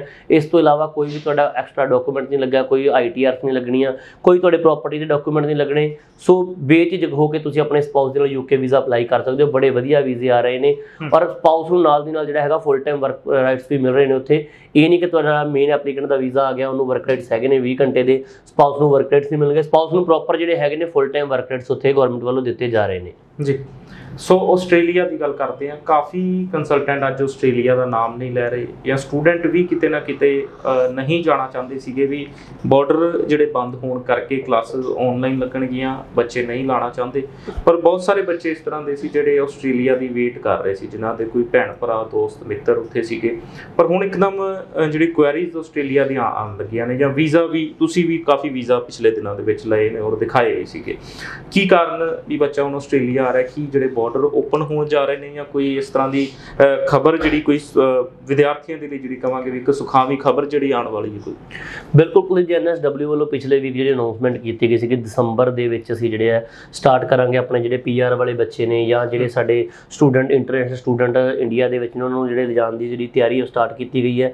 ਉਹੀ 14 ਦਿਨ ਦਾ ਕੁਆਰੰਟਾਈਨ ਹੋਣਾ ਜਿਵੇਂ ਕਿ ਹਰੇਕ ਕੰਟਰੀ 'ਚ ਅੱਜਕੱਲ ਚੱਲ ਰਿਹਾ ਉਹੀ ਕੁਆਰੰਟਾਈਨ ਤੋਂ ਬਾਅਦ ਬੱਚਾ ਉੱਥੇ ਆਪਣੀ ਸਟੱਡੀ ਕੰਟੀਨਿਊ ਕਰ ਸਕਦਾ ਪਰ ਅਸੀਂ ਬੱਚਿਆਂ ਲਈ ਇੱਕ ਫੈਸਿਲਿਟੀ ਲੈ ਕੇ ਆਏ ਹੋਏ ਹਾਂ ਮੈਨੂੰ ਲੱਗਦਾ ਇਹ ਤੋਂ 2 ਮਹੀਨੇ 3 ਮਹੀਨੇ ਪਹਿਲਾਂ ਵੀ ਜਿਹੜੇ ਬੱਚਿਆਂ ਨੇ ਸਾਡੇ ਕੋਲ ਅਪਲਾਈ ਕੀਤਾ ਸਾਰੇ ਬੱਚੇ ਜਾਣਦੇ ਨੇ ਜੀ ਫਰਵਰੀ ਔਰ ਜੁਲਾਈ ਇਨਟੇਕ ਹੁਣ ਤੋਂ ਅਪਲਾਈ ਕਰਵਾ ਰਹੇ ਹਾਂ ਬੱਚਿਆਂ ਦੀ। ਕਿਉਂਕਿ ਜਿਹੜਾ ਬੱਚਾ ਹੁਣ ਅਪਲਾਈ ਕਰੂਗਾ ਉਹ ਫਰਵਰੀ ਇਨਟੇਕ ਜਬ ਅਪਲਾਈ ਕਰ ਸਕਦਾ ਹੈ। ਕਿਉਂਕਿ ਇਨਟੇਕ ਦੀ ਜੇ ਆਪਾਂ ਗੱਲ ਕਰੀਏ ਆਪਣੇ ਕੋਲ ਨਵੰਬਰ ਇਨਟੇਕ ਵੀ ਹੈਗਾ। ਤੁਸੀਂ ਨਵੰਬਰ ਲਈ ਵੀ ਵੀਜ਼ਾ ਲੈ ਸਕਦੇ ਹੋ। ਪਰ ਕੀ ਹੈ ਕਿ ਨਵੰਬਰ 'ਚ ਬੱਚੇ ਦਾ ਕਿਤੇ ਨਾ ਕਿਤੇ ਡਾਊਟ ਰਹਿੰਦਾ ਕਿ ਜੇ ਆਸਟ੍ਰੇਲੀਆ ਦਸੰਬਰ 'ਚ ਨਾ ਖੁੱਲਿਆ ਤਾਂ ਕਿਤੇ ਮੈਂ ਨਾ ਪਹੁੰਚ ਪਾਵਾਂ ਮੈਨੂੰ ਘਰੋਂ ਸਾਰੀ ਫੀਸ ਨਾ ਪੇ ਕਰਨੀ ਪੈ ਜੇ। ਜਿਹੜਾ ਬੇਸਿਕ ਮੈਨੂੰ ਲੱਗਦਾ ਰੀਜ਼ਨ ਹੈ ਕਿਤੇ ਨਾ ਕਿਤੇ ਬੱਚਿਆਂ ਦਾ ਇਹ ਹੈ ਕਿ ਹਰੇਕ ਬੱਚਾ ਅੱਜ ਆਸਟ੍ਰੇਲੀਆ ਅਪਲਾਈ ਕਰਦਾ ਹੈ। 6 ਮੰਥ ਦੀ ਬੱਚਾ ਫੀਸ ਪੇ ਕਰਦਾ ਸੋਚਦਾ ਕਿ ਅੱਗੇ ਦੇ 6 ਮੰਥ ਦੀ ਮੈਂ ਉੱਥੇ ਜਾ ਕੇ ਕਮਾ ਕੇ ਭਰ ਦੂੰਗਾ।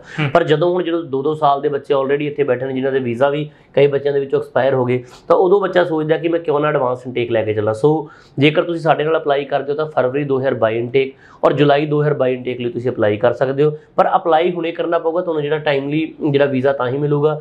ਔਰ ਜਿਵੇਂ ਤੁਸੀਂ ਗੱਲ ਕੀਤੀ ਕਿ ਹੁਣ ਕੋਈ ਆਸਟ੍ਰੇਲੀਆ ਦਾ ਨਾਮ ਨਹੀਂ ਲੈ ਰਿਹਾ ਸ਼ਾਇਦ ਆਸਟ੍ਰੇਲੀਆ ਦੇ ਵੀਜ਼ਾ ਨਹੀਂ ਆ ਰਿਹਾ। ਲਾਸਟ ਵੀਕ ਜੇ ਸਾਡਾ ਫੇਸਬੁੱਕ ਪੇਜ ਜਾਂ ਇੰਸਟਾਗ੍ਰam ਪੇਜ ਫੋਲੋ ਕੀਤਾ ਹੋਗਾ ਤੁਹਾਨੂੰ ਦੇਖਿਆ ਹੋਊਗਾ ਕਿ ਅਸੀਂ ਲਾਸਟ ਵੀਕ ਦੇ ਵਿੱਚ 10 ਤੋਂ 12 ਵੀਜ਼ੇ ਸ਼ੇਅਰ ਕੀਤੇ ਆ। ਸਾਡੇ ਪਿਛਲੇ ਵੀਕ ਦੇ ਵਿੱਚ ਹੀ 12 14 ਵੀਜ਼ੇ ਆਏ ਆ। ਇਸ ਵੀਕ ਦੇ ਵਿੱਚ ਵੀ ਹੋਪਸ ਤੁਹਾਨੂੰ 10 12 ਵੀਜ਼ੇ ਅਸੀਂ ਹੋਰ ਇੰਟਰੋਡਿਊਸ ਕਰਾਵਾਂਗੇ ਜੋ ਉਹਨਾਂ ਬੱਚਿਆਂ ਨਾਲ ਵੀ ਇੰਟਰੋਡਿਊਸ ਕਰਾਵਾਂਗੇ ਜਿਨ੍ਹਾਂ ਬੱਚਿਆਂ ਦੇ ਵੀਜ਼ਾ ਆ ਰਿਹਾ ਸੋ ਆਸਟ੍ਰੇਲੀਆ ਦੇ ਵਿੱਚ ਬੇਸਿਕਲੀ ਕਿ ਤੁਸੀਂ ਪਲੱਸ 2 ਪਾਸ ਆਊਟ ਹੋਣੇ ਚਾਹੀਦੇ ਹੋ। ਤੁਹਾਡੀ ਪਰਸੈਂਟੇਜ ਜੇਕਰ 50% ਵੀ ਹੈ ਤਾਂ ਵੀ ਤੁਸੀਂ ਐਲੀਜੀਬਲ ਹੋ। ਤੁਸੀਂ ਪਲੱਸ 2 2017 18 19 ਜਾਂ 20 ਜਾਂ 21 ਦੇ ਵਿੱਚ ਪਾਸ ਆਊਟ ਕੀਤੀ ਹੈ। ਤਾਂ ਵੀ ਤੁਸੀਂ ਐਲੀਜੀਬਲ ਹੋ। ਇਸ ਤੋਂ ਇਲਾਵਾ ਤੁਹਾਡੀ ਗ੍ਰੈਜੂਏਸ਼ਨ ਕੀਤੀ ਹੋਈ ਹੈ। ਗ੍ਰੈਜੂਏਸ਼ਨ 'ਚ ਪਰਸੈਂਟੇਜ ਤੁਹਾਡੀ ਘੱਟ ਹੈ ਤਾਂ ਵੀ ਤੁਸੀਂ ਬੇਚੇਚਕ ਅਪਲਾਈ ਕਰ ਸਕਦੇ ਹੋ। ਆਪਣੇ ਸਪਾਊਸ ਨੂੰ ਨਾਲ ਲੈ ਕੇ ਜਾ ਸਕਦੇ ਹੋ ਸਪਾਊਸ ਦੇ ਨਾਲ ਅਪਲਾਈ ਕਰ ਸਕਦੇ ਹੋ। ਔਰ ਕਈ ਦੇ ਵਿੱਚ ਜਗ੍ਹਾ ਇਹ ਡਾਊਟ ਹੈ ਕਿ ਸਪਾਊਸ ਦਾ ਵੀਜ਼ਾ ਨਾਲ ਅਪਲਾਈ ਕਰਦੇ ਹੋ ਤਾਂ ਵੀਜ਼ਾ ਨਹੀਂ ਆਊਗਾ। ਜਾਂ ਸਪਾਊਸ ਦਾ ਗ੍ਰੈਜੂਏਟ ਹੋਣਾ ਜ਼ਰੂਰੀ ਹੈ ਜਾਂ ਸਪਾਊਸ ਦੀ ਕਿਤੇ ਜੌਬ ਹੋਣੀ ਜ਼ਰੂਰੀ ਹੈ। ਸੋ ਸਪਾਊਸ ਤੁਹਾਡਾ ਬੇਸ਼ੱਕ ਬਿਲਕੁਲ ਅਨਪੜ੍ਹ ਵੀ ਹੈ ਤਾਂ ਵੀ ਤੁਸੀਂ ਆਪਣੇ ਸਪਾਊਸ ਨੂੰ ਨਾਲ ਲੈ ਕੇ ਜਾ ਸਕਦੇ ਹੋ। ਔਰ ਸਟੱਡੀ ਦੇ ਗੈਪ ਦੀ ਗੱਲ ਕਰੀਏ ਤਾਂ ਜੇਕਰ ਗ੍ਰੈਜੂਏਸ਼ਨ ਤੋਂ ਬਾਅਦ ਤੁਹਾਡਾ 8-10 ਸਾਲ ਦਾ ਗੈਪ ਹੈ ਤਾਂ ਵੀ ਤੁਸੀਂ ਆਸਟ੍ਰੇਲੀਆ ਸਟੂਡੈਂਟ ਵੀਜ਼ਾ ਅਪਲਾਈ ਕਰ ਸਕਦੇ ਹੋ ਔਰ ਜਿਹੜਾ ਬੱਚਿਆਂ ਦਾ ਸਭ ਤੋਂ ਵੱਡਾ ਡਾਊਟ ਹੈ ਕਿ ਅਸੀਂ ਪੈਸੇ ਵੀਜ਼ਾ ਤੋਂ ਬਾਅਦ ਦੇਣੇ ਆ। ਸੋ ਫਰਵਰੀ 2022 ਇਨਟੇਕ ਲਈ ਅਪਲਾਈ ਕਰਨਾ ਚਾਹੁੰਦੇ ਹੋ ਸਾਰੇ ਪੈਸੇ ਤੁਸੀਂ ਵੀਜ਼ਾ ਲੱਗਣ ਤੋਂ ਬਾਅਦ ਦੇ ਸਕਦੇ ਹੋ। ਤੁਹਾਨੂੰ ਇਹ ਨਹੀਂ ਕਿ ਤੁਸੀਂ ਇੰਨੇ ਪੈਸੇ ਪਹਿਲਾਂ ਦੇ ਦਿਓ ਤੁਹਾਡਾ ਵੀਜ਼ੇ ਤੋਂ ਬਾਅਦ ਇੰਨੇ ਪੈਸੇ ਦੇਣੇ ਆ। ਤੁਸੀਂ ਬੇਸ਼ੱਕ ਨਹੀਂ ਪੈਸੇ ਦੇਣਾ ਚਾਹੁੰਦੇ ਤਾਂ ਸਾਰੇ ਦੇ ਸਾਰੇ ਪੈਸੇ ਤੁਸੀਂ ਆਸਟ੍ਰੇਲੀਆ ਸਟੂਡੈਂਟ ਵੀਜ਼ਾ ਚਾਹੇ ਸਿੰਗਲ ਅਪਲਾਈ ਕਰਦੇ ਹੋ ਚਾਹੇ ਸਪਾਊਸ ਅਪਲਾਈ ਕਰਦੇ ਹੋ ਤੁਸੀਂ ਵੀਜ਼ਾ ਲੱਗਣ ਤੋਂ ਬਾਅਦ ਦੇ ਸਕਦੇ ਹੋ। ਜੀ। ਸੋ ਆਪਸ਼ਨ ਬੱਚਿਆਂ ਦੇ ਕੋਲ ਹੈ ਕਿ ਸਾਰੇ ਪੈਸੇ ਵੀਜ਼ਾ ਤੋਂ ਬਾਅਦ ਦਿੱਤੇ ਜਾ ਸਕਦੇ ਨੇ ਕੋਈ ਰਿਸਕ ਨਹੀਂ ਰਹੇਗਾ ਬੱਚੇ ਦਾ। ਸੋ ਇੱਕ ਵਾਰ ਫੋਨ ਕਰਕੇ ਡਿਟੇਲ ਦੇ ਵਿੱਚ ਜ਼ਰੂਰ ਪੁੱਛੋ ਕਿ ਜਲਦੀ ਹੀ ਜਿਹੜੇ ਬਾਰਡਰ ਓਪਨ ਹੋਣ ਵਾਲੇ ਨੇ, ਕਾਫੀ ਵੀਜ਼ਾ ਗ੍ਰਾਂਟ ਕੀਤੇ ਜਾ ਰਹੇ ਨੇ, ਕਾਫੀ ਬੱਚੇ ਜਿਹੜੇ ਹੁਣ ਤਿਆਰੀ ਕਰੀ ਬੈਠੇ ਨੇ। ਅੱਛਾ, ਇੱਕ ਚੀਜ਼ ਹੋਰ ਰਹਿੰਦੀ ਹੈ, ਜਿਵੇਂ ਇੰਨੇ ਗੈਪ ਤੋਂ ਬਾਅਦ ਜਦੋਂ ਕੋਈ ਕੰਟਰੀ ਰੀਓਪਨ ਹੁੰਦੀ ਹੈ, ਤਾਂ ਇੱਕ ਸਕਸੈਸ ਰੇਟ ਦੇਖੀਏ ਜਾਂ ਵੀਜ਼ਾ ਗ੍ਰਾਂਟ ਜਿਹੜੇ ਕਰਦੇ ਨੇ, ਉਹ ਕਿਤੇ ਨਾ ਕਿਤੇ ਜ਼ਿਆਦਾ ਦੇਖਣ ਨੂੰ ਮਿਲਦੇ ਨੇ, ਕਿਉਂਕਿ ਕਾਫੀ ਟਾਈਮ ਤੋਂ ਜਿਹੜੇ ਸੀਟਸ ਵੀ ਖਾਲੀ ਪਈਆਂ ਸੀ ਜਾਂ ਕੰਮ ਵੀ ਜਿਹੜਾ ਇੱਕ ਰੁਕਿਆ ਹੋਇਆ ਸੀ। ਜੀ ਜੇ ਆਪਾਂ ਲਾਕਡਾਊਨ ਦੀ ਗੱਲ ਕਰੀਏ, ਤਾਂ ਮੈਨੂੰ ਲੱਗਦਾ ਮਾਰਚ 2020 ਤੋਂ ਲੈ ਕੇ ਆਸਟ੍ਰੇਲੀਆ ਵਿੱਚ ਹੁਣ ਤੱਕ ਲਾਕਡਾਊਨ ਹੀ ਚੱਲ ਰਿਹਾ ਹੈ। ਪਰ ਜੇ ਆਪਾਂ ਵੀਜ਼ਾ ਸਕਸੈਸ ਰੇਟ ਦੀ ਗੱਲ ਕਰੀਏ ਤਾਂ ਉਦੋਂ ਤੋਂ ਲੈ ਕੇ ਹੁਣ ਤੱਕ ਦਾ ਜਿਹੜਾ ਸਕਸੈਸ ਰੇਟ ਜੇ ਆਪਾਂ ਗੱਲ ਕਰੀਏ ਤਾਂ ਮੈਨੂੰ ਲੱਗਦਾ ਕਿ ਪਿਛਲੇ 2 ਸਾਲਾਂ ਦੇ ਜੇ ਆਪਾਂ ਮੁਕਾਬਲੇ ਗੱਲ ਕਰੀਏ ਤਾਂ 50% ਜ਼ਿਆਦਾ ਹੈ। ਹੁਣ ਵੀ ਵੀਜ਼ਾ ਬੜੇ ਸਮੂਥਲੀ ਆ ਰਹੇ ਨੇ ਪਰ ਆ ਕਿਹੜੇ ਬੱਚਿਆਂ ਦੇ ਰਹੇ ਨੇ? ਜੇ ਓਵਰਆਲ 5.5 ਬੈਂਡ ਨੇ ਜਾਂ ਓਵਰਆਲ 5 ਬੈਂਡ ਨਾਲ ਅਪਲਾਈ ਕਰ ਰਹੇ ਤਾਂ ਵੀਜ਼ਾ ਬਹੁਤ ਘੱਟ ਆ ਰਹੇ ਨੇ। 5.5 ਨਾਲ ਵੀਜ਼ਾ ਜ਼ਰੂਰ ਆ ਰਹੇ ਨੇ ਪਰ ਘੱਟ ਆ ਰਹੇ ਨੇ। ਪਰ ਜੇ ਆਪਾਂ ਓਵਰਆਲ ਬੈਂਡ ਸਕੋਰ 6 ਹੈਗਾ ਇੱਕ ਮੋਡਿਊਲ 5.5 ਨੇ ਤਾਂ ਚੰਗੀ ਕਾਲਜ ਯੂਨੀਵਰਸਿਟੀ ਤੁਸੀਂ ਅਪਲਾਈ ਕਰ ਰਹੇ ਹੋ। ਡਿਪੈਂਡ ਕਰਦਾ ਕਿ ਤੁਸੀਂ ਅਸੈਸਮੈਂਟ ਲੈਵਲ ਅੱਜ 3 ਦੇ ਵਿੱਚ ਇੰਡੀਆ ਬੈਠਾ ਜੇ ਇੰਡੀਆ ਅਸੈਸਮੈਂਟ ਲੈਵਲ 2 ਚ ਅਪਲਾਈ ਕਰੂਗਾ ਜਾਂ ਅਸੈਸਮੈਂਟ ਲੈਵਲ 3 ਦੇ ਕਾਲਜ ਯੂਨੀਵਰਸਿਟੀ ਚ ਕਰੂਗਾ ਤਾਂ ਕਿਤੇ ਨਾ ਕਿਤੇ ਵੀਜ਼ਾ ਆਉਣ ਦੇ ਚਾਂਸਸ ਜਿਹੜੇ ਆ ਉਹ ਘਟ ਜਾਂਦੇ ਆ। ਸੋ ਸਭ ਤੋਂ ਪਹਿਲੀ ਗੱਲ ਕਿ ਤੁਸੀਂ ਜਦੋਂ ਅਪਲਾਈ ਕਰਨਾ ਤਾਂ ਘੱਟੋ ਘੱਟ ਅਸੈਸਮੈਂਟ ਲੈਵਲ 1 ਦੀ ਯੂਨੀਵਰਸਿਟੀ 'ਚ ਅਪਲਾਈ ਕਰੋ ਤਾਂ ਕਿ ਤੁਹਾਡੇ ਜਿਹੜੇ ਵੀਜ਼ਾ ਦੀ ਸ਼ੋਰਟੀ ਹੈ, ਜੇਕਰ ਤੁਹਾਡੇ ਪਰਸੈਂਟੇਜ ਕਿਸੇ ਮੌਕੇ ਘੱਟ ਵੀ ਹੈ, ਤੁਹਾਡੇ ਬੈਂਡ ਸਕੋਰ ਵਧੀਆ ਹੈ, ਜੇ ਯੂਨੀਵਰਸਿਟੀ ਅਸੈਸਮੈਂਟ ਲੈਵਲ 1 ਦੀ ਹੋਊਗੀ ਤਾਂ ਤੁਹਾਡਾ ਵੀਜ਼ਾ ਆਉਣ ਦੇ ਚਾਂਸ ਜਿਹੜੇ 100% ਬਣ ਜਾਂਦੇ ਆ। ਕਾਰਨ ਕੀ ਹੈ? ਚੰਗੀ ਯੂਨੀਵਰਸਿਟੀ ਅਪਲਾਈ ਕਰਦੇ ਹੋ ਐਮਬੈਸੀ ਵੀ ਦੇਖਦੀ ਹੈ ਕਿ ਬੱਚਾ ਪੜਨ ਵਾਲਾ ਹੈ। ਉਹ ਤਾਂ ਇਸ ਯੂਨੀਵਰਸਿਟੀ 'ਚ ਅਪਲਾਈ ਕੀਤੀ ਯੂਨੀਵਰਸਿਟੀ ਦੀ ਐਲੀਜੀਬਿਲਟੀ ਕਲੀਅਰ ਕੀਤੀ ਸੀ ਤਾਂ ਹੀ ਯੂਨੀਵਰਸਿਟੀ ਨੂੰ ਸੀਓਈ ਦਿੱਤੀ ਹੈ। ਹੁਣ ਆਸਟ੍ਰੇਲੀਆ ਦੇ ਵਿੱਚ ਕੀ ਹੁੰਦਾ ਕਿ ਜਦੋਂ ਕੋਈ ਬੱਚਾ ਅਪਲਾਈ ਕਰਦਾ ਯੂਨੀਵਰਸਿਟੀ ਪਹਿਲਾਂ ਆਪਣੇ ਬੇਸ ਤੇ ਬੱਚੇ ਦੀ ਜੀਟੀ ਚੈੱਕ ਕਰੇਗੀ ਕਿ ਜੈਨੂਇਨ ਟੈਂਪਰੇਰੀ ਐਂਟਰੈਂਸ ਜਿਹੜਾ ਟੈਸਟ ਹੈ ਉਹ ਯੂਨੀਵਰਸਿਟੀ ਚੈੱਕ ਕਰਦੀ ਯੂਨੀਵਰਸਿਟੀ ਨੂੰ ਲੱਗਦਾ ਕਿ ਬੱਚਾ ਐਲੀਜੀਬਲ ਹੈ ਬੱਚਾ ਵੀਜ਼ੇ ਦੀ ਕਾਬਿਲ ਹੈ ਤਾਂ ਯੂਨੀਵਰਸਿਟੀ ਬੱਚੇ ਨੂੰ ਜਿਹੜੀ ਕਨਫਰਮੇਸ਼ਨ ਆਫ ਐਨਰੋਲਮੈਂਟ ਦਿੰਦੀ ਜਿਹਨੂੰ ਆਪਾਂ ਸੀਓਈ ਕਹਿੰਦੇ ਆ ਔਰ ਸੀਓਈ ਤੋਂ ਬਾਅਦ ਜਿਹੜਾ ਵੀਜ਼ਾ ਆਪਾਂ ਫਾਈਲ ਕਰ ਸਕਦੇ ਹਾਂ। ਸੋ ਐਮਬੈਸੀ ਵੀ ਦੇਖਦੀ ਹੈ ਕਿਤੇ ਨਾ ਕਿਤੇ ਜਿਹੜੇ ਬੱਚੇ ਨੂੰ ਯੂਨੀਵਰਸਿਟੀ ਨੇ ਸੀਓਈ ਦਿੱਤੀ ਹੈ ਅਸੈਸਮੈਂਟ ਲੈਵਲ 1 ਦੀ ਯੂਨੀਵਰਸਿਟੀ ਦਾ ਆਲਮੋਸਟ 100% ਸਕਸੈਸ ਰੇਟ ਹੈ ਯੂਨੀਵਰਸਿਟੀ ਦਾ ਤਾਂ ਇਹ ਬੱਚੇ ਦਾ ਵੀਜ਼ਾ ਲੱਗਣਾ ਲਾਜ਼ਮੀ ਹੈ। ਸੋ ਇਸੇ ਕਰਕੇ ਕਹੀਦਾ ਕਿ ਜਦੋਂ ਵੀ ਅਪਲਾਈ ਕਰੋ ਅਸੈਸਮੈਂਟ ਲੈਵਲ 1 ਜਾਂ 2 ਦੀ ਯੂਨੀਵਰਸਿਟੀ ਅਪਲਾਈ ਕਰੋ ਉਹਦੇ ਵਿੱਚ ਵੀਜ਼ਾ ਚਾਂਸਸ ਜਿਹੜੇ ਨੇ ਬਹੁਤ ਹਾਈ ਰਹਿੰਦੇ ਨੇ। ਅੱਛਾ ਫੰਡਾਂ ਨੂੰ ਲੈ ਕੇ ਬੜਾ ਡਾਊਟ ਰਹਿੰਦਾ ਵੀ ਕਿਉਂਕਿ ਕਾਫੀ ਫੰਡ ਦਿਖਾਣੇ ਪੈਂਦੇ ਨੇ ਤਾਂ ਬੱਚਾ ਕਹਿੰਦਾ ਵੀ ਇੰਨੇ ਪੈਸੇ ਤਾਂ ਸਾਡੇ ਕੋਲ ਹੈ ਨਹੀਂ ਦਿਖਾਉਣ ਲਈ। ਤਾਂ ਕਿਵੇਂ ਇੱਕ ਬੱਚਾ ਆਪਣੇ ਘਰੋਂ ਫੰਡ ਜਿਹੜੇ ਸ਼ੋਅ ਕਰ ਸਕਦੇ ਮੈਨੂੰ ਲੱਗਦਾ ਕੁਲਦੀਪ ਜੀ ਜੇ ਆਪਾਂ ਆਸਟ੍ਰੇਲੀਆ ਦੀ ਜਦੋਂ ਵੀ ਗੱਲ ਕਰਦੇ ਹਾਂ ਤੇ ਸਭ ਤੋਂ ਵੱਡੀ ਸਮੱਸਿਆ ਜਦੋਂ ਬੱਚਿਆਂ ਨੂੰ ਜਿਹੜੀ ਦਿਖਦੀ ਹੈ ਹਾਲਾਂਕਿ ਇਹ ਸਮੱਸਿਆ ਕੋਈ ਸਮੱਸਿਆ ਨਹੀਂ ਹੈਗੀ ਪਰ ਜਿਹੜੀ ਸਮੱਸਿਆ ਬੱਚਿਆਂ ਨੂੰ ਦਿਖਦੀ ਹੈ ਉਹ ਇਹ ਹੈ ਕਿ ਫੰਡ ਕਿਵੇਂ ਸ਼ੋਅ ਕਰਾਂਗੇ। ਜਾਂ ਫੰਡ ਕਿੰਨੇ ਸ਼ੋਅ ਕਰਨੇ ਨੇ ਜਾਂ ਫੰਡ ਕਿੰਨੇ ਪੁਰਾਣੇ ਸ਼ੋਅ ਕਰਨੇ ਨੇ ਕਿ ਨਵੇਂ ਫੰਡ ਐਕਸੈਪਟੇਬਲ ਨੇ। ਪਹਿਲੀ ਗੱਲ ਤਾਂ ਦੋ ਤਰੀਕੇ ਦੇ ਫੰਡ ਜਾਣੇ ਦੇ ਵਿੱਚ। ਜੇ ਤੁਸੀਂ ਡਿਪਲੋਮਾ ਲਈ ਅਪਲਾਈ ਕਰਦੇ ਹੋ ਤੁਹਾਨੂੰ 20 ਤੋਂ 25 ਲੱਖ ਦੇ ਫੰਡ ਚਾਹੀਦੇ ਆ। ਡਿਗਰੀ ਲਈ ਅਪਲਾਈ ਕਰਦੇ ਹੋ 25 ਤੋਂ 30 ਲੱਖ ਦੇ ਫੰਡ ਚਾਹੀਦੇ ਆ। ਫੰਡਿੰਗ ਦੇ ਵਿੱਚ ਬੇਸਿਕਲੀ ਤੁਸੀਂ 1 ਸਾਲ ਦੀ ਆਪਣੀ ਫੀਸ ਸ਼ੋਅ ਕਰਨੀ ਹੈ ਪਲੱਸ ਤੁਸੀਂ ਆਪਣੇ ਲਿਵਿੰਗ ਐਕਸਪੈਂਸ ਸ਼ੋਅ ਕਰਨੇ ਆ। ਇਸ ਤੋਂ ਇਲਾਵਾ ਆਪਣਾ ਰਿਟਰਨ ਏਅਰ ਫਿਰ ਸ਼ੋਅ ਕਰਨਾ ਹੈ। ਸੋ ਜਦੋਂ ਬੱਚਾ ਅਪਲਾਈ ਕਰਦਾ ਹੈ ਤਾਂ ਉਹ ਸੋਚਦਾ ਕਿ ਮੈਂ ਫੰਡ ਕਿੱਥੋਂ ਲਿਆਉਣੇ ਆ। ਸੋ ਜੇਕਰ ਤੁਹਾਡੇ ਕੋਲ ਐਜੂਕੇਸ਼ਨ ਲੋਨ ਹੈ ਤੁਸੀਂ ਬੈਂਕ ਤੋਂ ਐਜੂਕੇਸ਼ਨ ਲੋਨ ਲੈ ਸਕਦੇ ਹੋ। ਤੁਹਾਡੇ ਕੋਲ ਕੋਈ ਡੀ ਪਈ ਹੈ ਸੇਵਿੰਗ ਪਈ ਹੈ ਤੁਸੀਂ ਉਹ ਸ਼ੋਅ ਕਰ ਸਕਦੇ ਹੋ। ਔਰ ਫੰਡਿੰਗ ਦੇ ਵਿੱਚ ਜਿਹੜੀ ਬੱਚੇ ਦੀ ਹੈਲਪ ਹੈ ਉਹ ਬੱਚੇ ਦੇ ਮੇਨ ਐਪਲੀਕੈਂਟ ਦੇ ਅਕਾਊਂਟ ਦੇ ਵਿੱਚ ਪੈਸੇ ਹੋਣੇ ਚਾਹੀਦੇ ਆ। ਜਾਂ ਮਦਰ ਫਾਦਰ ਦੇ ਜਾਂ ਦਾਦਾ ਦਾਦੀ ਜਾਂ ਨਾਨਾ ਨਾਨੀ ਦੇ ਥਰਡ ਪਰਸਨ ਜਿਹੜੇ ਥਰਡ ਪਾਰਟੀ ਫੰਡ ਨੇ ਐਕਸੈਪਟੇਬਲ ਨਹੀਂ ਹੈਗੇ। ਸੋ ਤੁਸੀਂ ਆਪਣੇ ਜਿਹੜੇ ਫਸਟ ਬਲੱਡ ਰਿਲੇਸ਼ਨ ਹੈ ਸਿਰਫ ਉਸੇ ਚੋਂ ਫੰਡ ਸ਼ੋਅ ਕਰ ਸਕਦੇ ਹੋ। ਔਰ ਜੇਕਰ ਕਿਸੇ ਬੱਚੇ ਕੋਲੇ ਹੁੰਦਾ ਕਿ ਫੰਡ ਪੁਰਾਣੇ ਨਹੀਂ ਹੈਗੇ ਸਾਡੇ ਕੋਲੇ ਫੰਡ ਨਵੇਂ ਹੈ। ਉਹਦੇ ਕਈ ਵਾਰੀ ਕਿਸੇ ਬੱਚੇ ਨੇ ਕੋਈ ਪ੍ਰਾਪਰਟੀ ਸੇਲ ਕੀਤੀ ਹੁੰਦੀ ਹੈ ਕਿਸੇ ਨੇ ਕੋਈ 골ਡ ਸੇਲ ਕੀਤਾ ਹੁੰਦਾ ਜਾਂ ਕੋਈ ਹੋਰ ਚੀਜ਼ ਸੇਲ ਕੀਤੀ ਹੁੰਦੀ ਹੈ ਤਾਂ ਉਹ ਜਿਹੜੇ ਸੇਲ ਐਫੀਡੇਵਿਟ ਨੇ ਉਹ ਲਗਾ ਕੇ ਵੀ ਤੁਸੀਂ ਨਵੇਂ ਫੰਡ ਸ਼ੋਅ ਕਰ ਸਕਦੇ ਹੋ। ਬਸ਼ਰਤੇ ਤੁਹਾਡੇ ਕੋਲ ਜਦੋਂ ਐਵੀਡੈਂਸ ਹੈਗੀ ਕਿ ਸਾਡੇ ਕੋਲੇ ਫੰਡ ਜਨਰੇਟ ਕੀਤਾ ਹੋਏ ਤਾਂ ਤੁਸੀਂ 1 ਮੰਥ ਪੁਰਾਣੇ ਜਾਂ 15 ਦਿਨ ਪੁਰਾਣੇ ਫੰਡ ਵੀ ਤੁਸੀਂ ਈਜ਼ੀਲੀ ਸ਼ੋਅ ਕਰ ਸਕਦੇ ਹੋ। ਸੋ ਫੰਡਿੰਗ ਨੂੰ ਲੈ ਕੇ ਨਾ ਘਬਰਾਉਣ ਦੀ ਲੋੜ ਨਹੀਂ ਹੈਗੀ। ਫੰਡਿੰਗ ਦੇ ਰਿਗਾਰਡਿੰਗ ਤੁਹਾਡੀ ਕੋਈ ਵੀ ਕੁਐਰੀ ਹੈ ਤੁਸੀਂ ਸਾਨੂੰ ਮਿਲ ਕੇ ਕੁਐਰੀ ਕਲੀਅਰ ਕਰ ਸਕਦੇ ਹੋ। ਫੰਡ ਬੱਚਾ ਆਪਣੇ ਘਰੋਂ ਹੀ ਦਿਖਾ ਸਕਦਾ ਹੈ ਘਰੋਂ ਹੀ ਕੱਢ ਸਕਦਾ ਕਿਸੇ ਫਾਈਨਾਂਸਰ ਨੂੰ ਪੈਸੇ ਦੇਣ ਦੀ ਲੋੜ ਨਹੀਂ ਪੈਣੀ। ਤੁਸੀਂ ਆਪਣੇ ਘਰੋਂ ਹੀ ਹਰੇਕ ਕੰਟਰੀ ਲਈ ਫੰਡ ਈਜ਼ੀਲੀ ਸ਼ੋਅ ਕਰ ਸਕਦੇ ਹੋ। ਜੀ। ਸੋ ਇੱਕ ਚੀਜ਼ ਜ਼ਰੂਰ ਮੈਂ ਚਾਹਾਂਗਾ ਸ਼ੇਅਰ ਕਰਨੀ ਕਿ ਯੂਕਰੇਨ ਦੇ ਬਾਰੇ ਤੁਸੀਂ ਗੱਲ ਕਰ ਰਹੇ ਸੀ ਪ੍ਰੋਗਰਾਮ ਸ਼ੁਰੂ ਹੋਣ ਤੋਂ ਪਹਿਲੇ ਕਿ ਇੱਕ ਬੱਚਾ ਜਿਹੜਾ ਭੇਜਿਆ ਗਿਆ ਸੀ ਉਹਦਾ ਕਜ਼ਨ ਤੇ ਨਾਲ ਇੱਕ ਦੋਸਤ ਜਿਹੜੇ, ਉਹ ਵੀ ਤੁਹਾਡੇ ਕੋਲ ਆਏ ਕਿ ਫੀਡਬੈਕ ਉਹਨੂੰ ਇਸ ਤਰ੍ਹਾਂ ਦੀ ਮਿਲੀ ਕਿ ਉਹ ਵੀ ਜਾਣਾ ਚਾਹੁੰਦੇ ਨੇ। ਕਾਫੀ ਬੱਚੇ ਇਦਾਂ ਦੇ ਵੀ ਨੇ ਜਿਹੜੇ ਕਹਿੰਦੇ ਕਿ ਸਾਨੂੰ ਪੈਕੇਜ ਮਹਿੰਗਾ ਮਿਲ ਗਿਆ ਜਾਂ ਅਸੀਂ ਉੱਥੇ ਜਾ ਕੇ ਮੂਵ ਨਹੀਂ ਹੋ ਪਾਏ। ਦੂਜੇ ਪਾਸੇ ਇੱਕ ਬੱਚਾ ਜਿਹੜਾ ਗਿਆ, ਦੋ ਦੇ ਨਾਲ ਦੇ ਬੱਚੇ ਜਾਣ ਨੂੰ ਤਿਆਰ ਨੇ। ਤਾਂ ਕੀ ਫ਼ਰਕ ਹੈ? ਉੱਥੇ ਕੰਸਲਟੈਂਟ ਨੇ ਕਿਸੇ ਤਰੀਕੇ ਦੀ ਕੋਈ ਕਮੀ ਰਹਿ ਗਈ ਜਾਂ ਕੀ ਫ਼ਰਕ ਸੀਗਾ? ਕੁਲਦੀਪ ਜੀ, ਪਹਿਲੀ ਗੱਲ ਮੈਂ ਕਰੂੰਗਾ ਪੈਕੇਜ ਨੂੰ ਲੈ ਕੇ। ਜਿਹੜੇ ਬੱਚੇ ਕਹਿੰਦੇ ਕਿ ਸਾਨੂੰ ਪੈਕੇਜ ਮਹਿੰਗਾ ਮਿਲ ਗਿਆ ਪੈਕੇਜ ਮਹਿੰਗਾ ਕਿਉਂ ਮਿਲ ਰਿਹਾ ਹੈ? ਅੱਜ ਬੱਚੇ ਇੱਥੋਂ ਜਦੋਂ ਐਡਸ ਦੇਖਦੇ ਨਾ ਬੱਚੇ ਲਾਲਚ ਉਸ ਪਾਸੇ ਜਾਂਦੇ ਕਿ ਸਾਨੂੰ ਸਵਾ ਲੱਖ ਦਾ 1.5 ਲੱਖ ਦਾ 2 ਲੱਖ ਦਾ ਪੈਕੇਜ ਮਿਲ ਗਿਆ। ਇਹ ਤਾਂ ਬਹੁਤ ਸਸਤਾ ਪੈਕੇਜ ਹੈ। ਇੱਥੇ ਅਸੀਂ ਜੇ ਗੱਲ ਕਰੀਏ ਅਸੀਂ 3 ਤੋਂ 4 ਲੱਖ ਦੇ ਪੈਕੇਜ ਬੱਚੇ ਨੂੰ ਭੇਜ ਰਹੇ ਹਾਂ। ਹੁਣ 3 ਲੱਖ ਤੇ 4 ਲੱਖ ਦੇ ਵਿੱਚ ਵੀ 1 ਲੱਖ ਦਾ ਫ਼ਰਕ ਹੈ। ਉਹਦੇ ਵਿੱਚ ਵੀ ਡਿਪੈਂਡ ਕਰਦਾ ਹੈ ਕਿ ਤੁਸੀਂ ਕਿਸ ਤਰ੍ਹਾਂ ਦੀ ਯੂਨੀਵਰਸਿਟੀ ਜਾ ਰਹੇ ਹੋ ਕਿਸ ਤਰ੍ਹਾਂ ਦੀ ਕਾਲਜ 'ਚ ਜਾ ਰਹੇ ਹੋ। ਉਹ ਸਾਰੀਆਂ ਚੀਜ਼ਾਂ ਡਿਪੈਂਡ ਕਰਦੀਆਂ। ਜਿਹੜੇ ਬੰਦੇ ਤੁਹਾਨੂੰ 1 ਲੱਖ ਸਵਾ ਲੱਖ 1 ਲੱਖ 80 ਹਜ਼ਾਰ 'ਚ ਭੇਜ ਰਹੇ ਨੇ ਉਹਨਾਂ ਕੋਲੋਂ ਇਹ ਜ਼ਰੂਰ ਪੁੱਛਿਆ ਕਰੋ ਕਿ ਇਹਦੇ ਵਿੱਚ ਕੀ ਕੀ ਐਡ ਹੈਗਾ। ਇਹ ਤਾਂ ਨਹੀਂ ਇਕੱਲੇ ਪੈਕੇਜ ਤੁਹਾਡਾ ਇਕੱਲਾ ਵੀਜ਼ਾ ਇਨਕਲੂਡ ਹੋਏ ਹੋਰ ਕੁਝ ਸਰਵਿਸ ਇਨਕਲੂਡ ਹੀ ਨਾ ਹੋਏ। ਜਦੋਂ ਬੱਚਾ ਇੱਥੋਂ ਦਾ 1 ਲੱਖ 80 ਹਜ਼ਾਰ 2 ਲੱਖ ਦਾ ਪੈਕੇਜ ਲੈ ਕੇ ਚਲਾ ਜਾਂਦਾ ਯੂਕਰੇਨ ਵੀ ਮੈਂ ਕਹਿੰਦਾ ਪਹੁੰਚ ਜਾਂਦਾ। 에ਅਰਪੋਰਟ ਤੋਂ ਕਲੀਅਰੈਂਸ ਵੀ ਮਿਲ ਜਾਂਦੀ ਹੈ। media ਜਦੋਂ ਉੱਥੇ ਜਾ ਕੇ ਖਰਚੇ ਦੇਖਦਾ ਉਹੀ ਪੈਕੇਜ ਨੂੰ 5 ਤੋਂ 6 ਲੱਖ ਚ ਕੋਸਟ ਕਰਨ ਲੱਗ ਜਾਂਦਾ ਹੈ। ਕਾਰਨ ਕੀ ਹੈ ਕਿ ਤੁਹਾਡੇ ਉੱਥੇ ਜਿਹੜੇ ਚਾਰजेस ਨੇ ਉਹ ਪੇ ਨਹੀਂ ਕੀਤੇ ਹੁੰਦੇ। ਸੋ ਯੂਕਰੇਨ ਅਪਲਾਈ ਕਰਨਾ ਚਾਹੁੰਦੇ ਹੋ 20 ਤੋਂ 25 ਸਾਲ ਦਾ ਤੁਹਾਡਾ ਸਟੱਡੀ ਦਾ ਬੇਸ਼ੱਕ ਗੈਪ ਹੈ ਯਾਨੀ ਕਿ ਤੁਸੀਂ 40 ਸਾਲ ਤੱਕ ਤੋਂ ਵੀ ਤੁਹਾਡੀ ਏਜ ਹੈਗੀ ਹੈ। 10ਵੀਂ ਤੁਸੀਂ ਘੱਟੋ ਘੱਟ ਪਾਸ ਹੋ ਇੱਥੇ ਕੋਈ ਇਨਕਮ ਸੋਰਸਸ ਪ੍ਰੋਪਰ ਨਹੀਂ ਹੈਗਾ। 3 ਤੋਂ 4 ਲੱਖ ਦੇ ਬਜਟ 'ਚ ਚੰਗੀ ਕੰਟਰੀ ਜਾਣਾ ਚਾਹੁੰਦੇ ਹੋ 30 40 ਹਜ਼ਾਰ ਰੁਪਏ ਮੰਥਲੀ ਅਰਨ ਕਰਨਾ ਚਾਹੁੰਦੇ ਹੋ ਜਿਹੜਾ ਘੱਟੋ ਘੱਟ ਹੈ। ਬੱਚੇ ਉਹਦੇ 70 70 80 80 ਹਜ਼ਾਰ ਵੀ ਅਰਨ ਕਰ ਰਹੇ ਜਿਵੇਂ ਆਪਾਂ ਗੱਲ ਕੀਤੀ ਕਿ ਇੱਕ ਬੱਚੇ ਦੋ ਕਜ਼ਨ ਸਾਡੇ ਕੋਲ ਦੁਬਾਰਾ ਆ ਕੇ ਸਾਨੂੰ ਵੀ ਯੂਕਰੇਨ ਭੇਜ ਦਿਓ। ਹਾਲਾਂਕਿ ਪਲੱਸ 2 ਕੀਤੀ ਉਹਨੇ 3-3 4-4 ਸਾਲ ਦਾ ਗੈਪ ਹੈ ਕਿ ਜੇ ਕਿਸੇ ਹੋਰ ਕੰਟਰੀ ਵੀ ਅਪਲਾਈ ਕਰਨ ਤਾਂ ਬਣ ਸਕਦਾ। ਪਰ ਬੱਚਾ ਕਹਿੰਦਾ ਜਦੋਂ ਮੈਨੂੰ 3-4 ਲੱਖ ਲਾ ਕੇ 60-70 ਹਜ਼ਾਰ ਦੀ ਜਿਹੜੀ ਇਨਕਮ ਹੋ ਰਹੀ ਹੈ ਤਾਂ ਮੈਂ ਜਿੰਨਾ ਕਈ ਵਾਰੀ ਕਿਸੇ ਬੱਚੇ ਦਾ ਬਜਟ ਹੀ ਘੱਟ ਹੁੰਦਾ ਹੈ। ਸੋ ਯੂਕਰੇਨ ਜੇਕਰ ਘੱਟ ਬਜਟ 'ਚ ਅਪਲਾਈ ਕਰਨਾ ਚਾਹੁੰਦੇ ਹੋ ਠੀਕ ਠਾਕ ਪੈਸੇ ਵਧੀਆ ਕਮਾਉਣੇ ਚਾਹੁੰਦੇ ਹੋ ਕਮਿਊਨੀਕੇਸ਼ਨ ਸਕਿੱਲ ਤੁਹਾਡੇ ਕੋਲ ਥੋੜੇ ਜਿਹਾ ਵਧੀਆ ਹੈਗੇ ਨੇ ਉੱਥੇ ਜਾ ਕੇ ਗੱਲਬਾਤ ਕਰ ਸਕਦੇ ਹੋ ਪ੍ਰੋਪਰ ਵਧੀਆ ਤਰੀਕੇ ਨਾਲ ਤੁਹਾਨੂੰ ਚੰਗੀ ਅਰਨਿੰਗਸ ਉੱਥੇ ਵੀ ਮਿਲ ਸਕਦੀ ਹੈ। ਔਰ ਖਾਸ ਗੱਲ ਕਿ 15 ਤੋਂ 20 ਦਿਨ 'ਚ ਤੁਹਾਡਾ ਵੀਜ਼ਾ ਮਿਲ ਜਾਣਾ ਕੋਈ ਪੈਸਾ ਤੁਸੀਂ ਪਹਿਲਾਂ ਨਹੀਂ ਦੇਣਾ ਸਾਰੇ ਦੇ ਸਾਰੇ ਪੈਸੇ ਤੁਸੀਂ ਦੇਣੇ ਆ ਵੀਜ਼ਾ ਲੱਗਣ ਤੋਂ ਬਾਅਦ। ਜੀ ਸ਼ੁਕਰੀਆ ਸਰ ਸ਼ੋਅ ਦੇ ਵਿੱਚ ਆਉਣ ਲਈ ਸਾਰੀ ਜਾਣਕਾਰੀ। ਧੰਨਵਾਦ ਪੂਰੀ ਜੀ। ਸੋ ਯੂਕਰੇਨ ਦੇ ਬਾਰੇ ਅਗਲੇ ਪ੍ਰੋਗਰਾਮ ਦੇ ਵਿੱਚ ਜ਼ਰੂਰ ਗੱਲ ਕਰਾਂਗੇ। ਕਿਵੇਂ ਬੱਚੇ ਉੱਥੋਂ ਯੂਰਪ ਮੂਵ ਕੀਤੇ ਜਾਂ ਕੈਨੇਡਾ ਆਸਟ੍ਰੇਲੀਆ ਨਿਊਜ਼ੀਲੈਂਡ ਮੂਵ ਕੀਤੇ ਉਸ ਚੀਜ਼ ਬਾਰੇ ਅਗਲੀ ਵਾਰ ਜਦੋਂ ਵੀ ਜਤਿੰਦਰ ਜੀ ਨੂੰ ਸੱਦਾ ਦਿੱਤਾ ਗਿਆ ਜ਼ਰੂਰ ਗੱਲ ਕਰਾਂਗੇ। ਪਰ ਤੁਸੀਂ ਫੋਨ ਕਰਕੇ ਵੀ ਇਹ ਸਾਰੀਆਂ ਚੀਜ਼ਾਂ ਪੁੱਛ ਸਕਦੇ ਹੋ ਡਿਟੇਲ ਦੇ ਵਿੱਚ ਜਾਣ ਸਕਦੇ ਹੋ। ਯੂਕੇ ਆਸਟ੍ਰੇਲੀਆ ਯੂਕਰੇਨ ਕੈਨੇਡਾ ਕਿਸੇ ਵੀ ਕੰਟਰੀ ਦਾ ਸਟੱਡੀ ਵੀਜ਼ਾ ਅਪਲਾਈ ਕਰਨਾ ਚਾਹੁੰਦੇ ਹੋ ਤਾਂ ਕੰਟੈਕਟ ਕਰ ਸਕਦੇ ਹੋ। ਜਾਂਦੇ ਜਾਂਦੇ ਕੁਝ ਬੱਚਿਆਂ ਨੂੰ ਮਿਲਦੇ ਆ ਜਿਨ੍ਹਾਂ ਦੇ ਰੀਸੈਂਟਲੀ ਵੀਜ਼ਾ ਆਏ ਨੇ ਉਹ ਬੱਚਿਆਂ ਦਾ ਕੀ ਕਹਿਣਾ ਆਓ ਦੇਖਦੇ ਹਾਂ। ਸਤਿ ਸ਼੍ਰੀ ਅਕਾਲ ਮੇਰਾ ਨਾਮ ਗੁਰਜੀਤ ਕੌਰ ਹੈ। ਮੈਂ ਲੁਧਿਆਣਾ ਦੀ ਰਹਿਣ ਵਾਲੀ ਹਾਂ। ਅੱਜ ਮੈਨੂੰ ਐਜੂਕੇਸ਼ਨ ਅਪਲੋਡ ਕੰਸਲਟੈਂਟ ਥਰੂ ਮੇਰਾ ਵੀਜ਼ਾ ਮਿਲ ਗਿਆ। ਮੈਂ ਕੋਈ ਆਸ ਨਹੀਂ ਕੀਤੀ ਸੀ ਔਰ ਮੇਰਾ ਗੈਪ ਸੀ। ਔਰ ਮੈਨੂੰ ਕੋਈ ਬਿਨਾਂ ਕਿਸੇ ਐਮਬੈਸੀ ਇੰਟਰਵਿਊ ਦੇ ਮੈਨੂੰ ਮੇਰਾ ਵੀਜ਼ਾ ਪ੍ਰਾਪਤ ਹੋਇਆ। ਅਗਰ ਤੁਸੀਂ ਵੀ ਆਪਣਾ ਵੀਜ਼ਾ ਕਿਸੇ ਵੀ ਕੰਟਰੀ ਲਈ ਅਪਲਾਈ ਕਰਨਾ ਚਾਹੁੰਦੇ ਹੋ ਤਾਂ ਐਜੂਕੇਸ਼ਨ ਅਪਲੋਡ ਕੰਸਲਟੈਂਟ ਨੂੰ ਵਿਜ਼ਿਟ ਕਰੋ। ਸਤਿ ਸ਼੍ਰੀ ਅਕਾਲ ਜੀ। ਮੈਂ ਅਮਿਤ ਹੈਗਾ ਜਲੰਧਰ ਤੋਂ ਰਹਿਣ ਵਾਲਾ। ਮੈਂ ਬੀਕਾਮ ਕੀਤੀ ਸੀਗੀ 2019 ਦੇ ਵਿੱਚ। ਤੇ ਅੱਜ ਮੇਰਾ ਵੀਜ਼ਾ ਹੈਗਾ ਕੈਨੇਡਾ ਦਾ ਐਵਲਨ ਕਾਲਜ ਤੋਂ ਤੇ ਐਜੂਕੇਸ਼ਨ ਅਬਰੋਡ ਕੰਸਲਟੈਂਟਸ ਵਾਲਿਆਂ ਨੇ ਬਹੁਤ ਵਧੀਆ ਗਾਈਡ ਕੀਤਾ ਤੇ ਮੇਰਾ ਵੀਜ਼ਾ ਲਵਾ ਕੇ ਦਿੱਤਾ ਹੈਗਾ। ਅਗਰ ਤੁਸੀਂ ਵੀ ਚਾਹੁੰਦੇ ਹੋ ਕਿ ਤੁਹਾਡਾ ਵੀਜ਼ਾ ਲੱਗੇ, ਤੇ ਤੁਸੀਂ ਪਲੀਜ਼ ਇਹਨਾਂ ਨੂੰ ਕੰਟੈਕਟ ਕਰੋ ਤੇ ਇੱਕ ਹਰੇਕ ਕੰਟਰੀ ਦੇ ਵਿੱਚ ਡੀਲ ਕਰਦੇ ਹੋ। ਤੁਸੀਂ ਕਿਸੇ ਵੀ ਕੰਟਰੀ ਦਾ ਕਰਨਾ ਹੈ ਸਟੱਡੀ ਵੀਜ਼ਾ ਤੇ ਇਹਨਾਂ ਨੂੰ ਪਲੀਜ਼ ਡੀਲ ਕਰੋ। They are providing the best service thank you ਸਤਿ ਸ਼੍ਰੀ ਅਕਾਲ। ਮੈਂ ਰਵਿੰਦਰ ਸਿੰਘ ਬੈਦਵਾਨ ਵਿਲੇਜ ਹਮਾਇੂਪੁਰ ਡਿਸਟ੍ਰਿਕਟ ਮੋਹਾਲੀ ਦਾ ਰਹਿਣ ਵਾਲਾ ਹਾਂ। ਮੈਂ ਆਪਣਾ ਯੂਕੇ ਦਾ ਸਟੱਡੀ ਵੀਜ਼ਾ ਸਿਰਫ 4 ਦਿਨਾਂ ਵਿੱਚ ਐਜੂਕੇਸ਼ਨ ਅਬਰੋਡ ਕੰਸਲਟੈਂਟ ਦੀ ਮਦਦ ਨਾਲ ਪ੍ਰਾਪਤ ਕੀਤਾ ਹੈ ਤੇ ਅੱਜ ਮੈਂ ਬਹੁਤ ਖੁਸ਼ ਹਾਂ। ਇਹ ਮੇਰਾ ਪਾਸਪੋਰਟ ਤੁਸੀਂ ਦੇਖ ਸਕਦੇ ਹੋ। ਜੇਕਰ ਮੈਂ ਆਪਣੀ ਪ੍ਰੋਫਾਈਲ ਬਾਰੇ ਡਿਸਕਸ ਕਰਾਂ, ਤਾਂ ਮੇਰਾ ਸਟੱਡੀ ਦਾ ਗੈਪ ਵੀ ਸੀ ਤੇ ਵਿਦਆਊਟ ਆਈਲੈਟਸ ਤੇ ਵਿਦਆਊਟ ਫੇਸਿੰਗ ਐਮਬੈਸੀ ਇੰਟਰਵਿਊ ਮੈਂ ਇਹ ਵੀਜ਼ਾ ਪ੍ਰਾਪਤ ਕੀਤਾ ਹੈ। ਇਹਦੇ ਲਈ ਮੈਂ ਐਜੂਕੇਸ਼ਨ ਅਬਰੋਡ ਕੰਸਲਟੈਂਟ ਦੀ ਪੂਰੀ ਟੀਮ ਦਾ ਬਹੁਤ ਹੀ ਥੈਂਕਫੁਲ ਹਾਂ। ਇਹ ਬਹੁਤ ਕੋਆਪਰੇਟਿਵ ਨੇ। ਜੇਕਰ ਤੁਸੀਂ ਵੀ ਕਿਸੇ ਕੰਟਰੀ 'ਚ ਆਪਣਾ ਵੀਜ਼ਾ ਲਗਵਾਉਣਾ ਚਾਹੁੰਦੇ ਹੋ, ਤਾਂ ਇੱਕ ਵਾਰੀ ਐਜੂਕੇਸ਼ਨ ਅਬਰੋਡ ਕੰਸਲਟੈਂਟ ਜ਼ਰੂਰ ਵਿਜ਼ਿਟ ਕਰੋ। ਇਹਨਾਂ ਦੀ ਪੂਰੀ ਟੀਮ ਬਹੁਤ ਹੀ ਕੋਆਪਰੇਟਿਵ ਹੈ। ਸਤਿ ਸ਼੍ਰੀ ਅਕਾਲ, ਮੇਰਾ ਨਾਮ ਪੂਜਾ ਹੈ, ਮੈਂ ਮਾਨਸਾ ਦੀ ਰਹਿਣ ਵਾਲੀ ਹਾਂ। ਮੈਨੂੰ ਅੱਜ ਮੇਰਾ ਕੈਨੇਡਾ ਦਾ ਸਟੱਡੀ ਵੀਜ਼ਾ ਮਿਲਿਆ ਐਜੂਕੇਸ਼ਨ ਅਬਰੋਡ ਕੰਸਲਟੈਂਟ ਦੇ ਥਰੂ ਜੇਕਰ ਮੈਂ ਆਪਣੀ ਪ੍ਰੋਫਾਈਲ ਦੀ ਗੱਲ ਕਰਾਂ, ਮੈਂ ਬੀਟੈਕ ਹੋਲਡਰ ਹਾਂ। ਓਵਰਆਲ 6 ਬੈਂਡ ਸਕੋਰ ਸੀ ਮੇਰੇ। ਮੈਨੂੰ ਬਿਲਕੁਲ ਹੀ ਉਮੀਦ ਨਹੀਂ ਸੀ ਕਿ ਮੈਨੂੰ ਮੇਰਾ ਸਟੱਡੀ ਵੀਜ਼ਾ ਮਿਲੂਗਾ। ਫਿਰ ਮੈਂ ਇੱਕ ਐਡਵਰਟਾਈਜ਼ਮੈਂਟ ਦੇਖੀ, ਉਹਦੇ ਥਰੂ ਮੈਨੂੰ ਐਜੂਕੇਸ਼ਨ ਅਬਰੋਡ ਕੰਸਲਟੈਂਟਸ ਬਾਰੇ ਪਤਾ ਚੱਲਿਆ। ਉਹਨਾਂ ਨੇ ਮੈਨੂੰ ਪ੍ਰੋਪਰ ਗਾਈਡੈਂਸ ਦਿੱਤੀ। ਉਹਨਾਂ ਦੀ ਸਰਵਿਸਿਜ਼ ਬਹੁਤ ਵਧੀਆ ਨੇ। ਮੇਰਾ ਸਾਰਾ ਪ੍ਰੋਸੈਸ ਕਾਲਿੰਗ ਥਰੂ ਹੀ ਹੋ ਗਿਆ। ਮੈਨੂੰ ਬਾਰ-ਬਾਰ ਵਿਜ਼ਿਟ ਵੀ ਨਹੀਂ ਕਰਨਾ ਪਿਆ।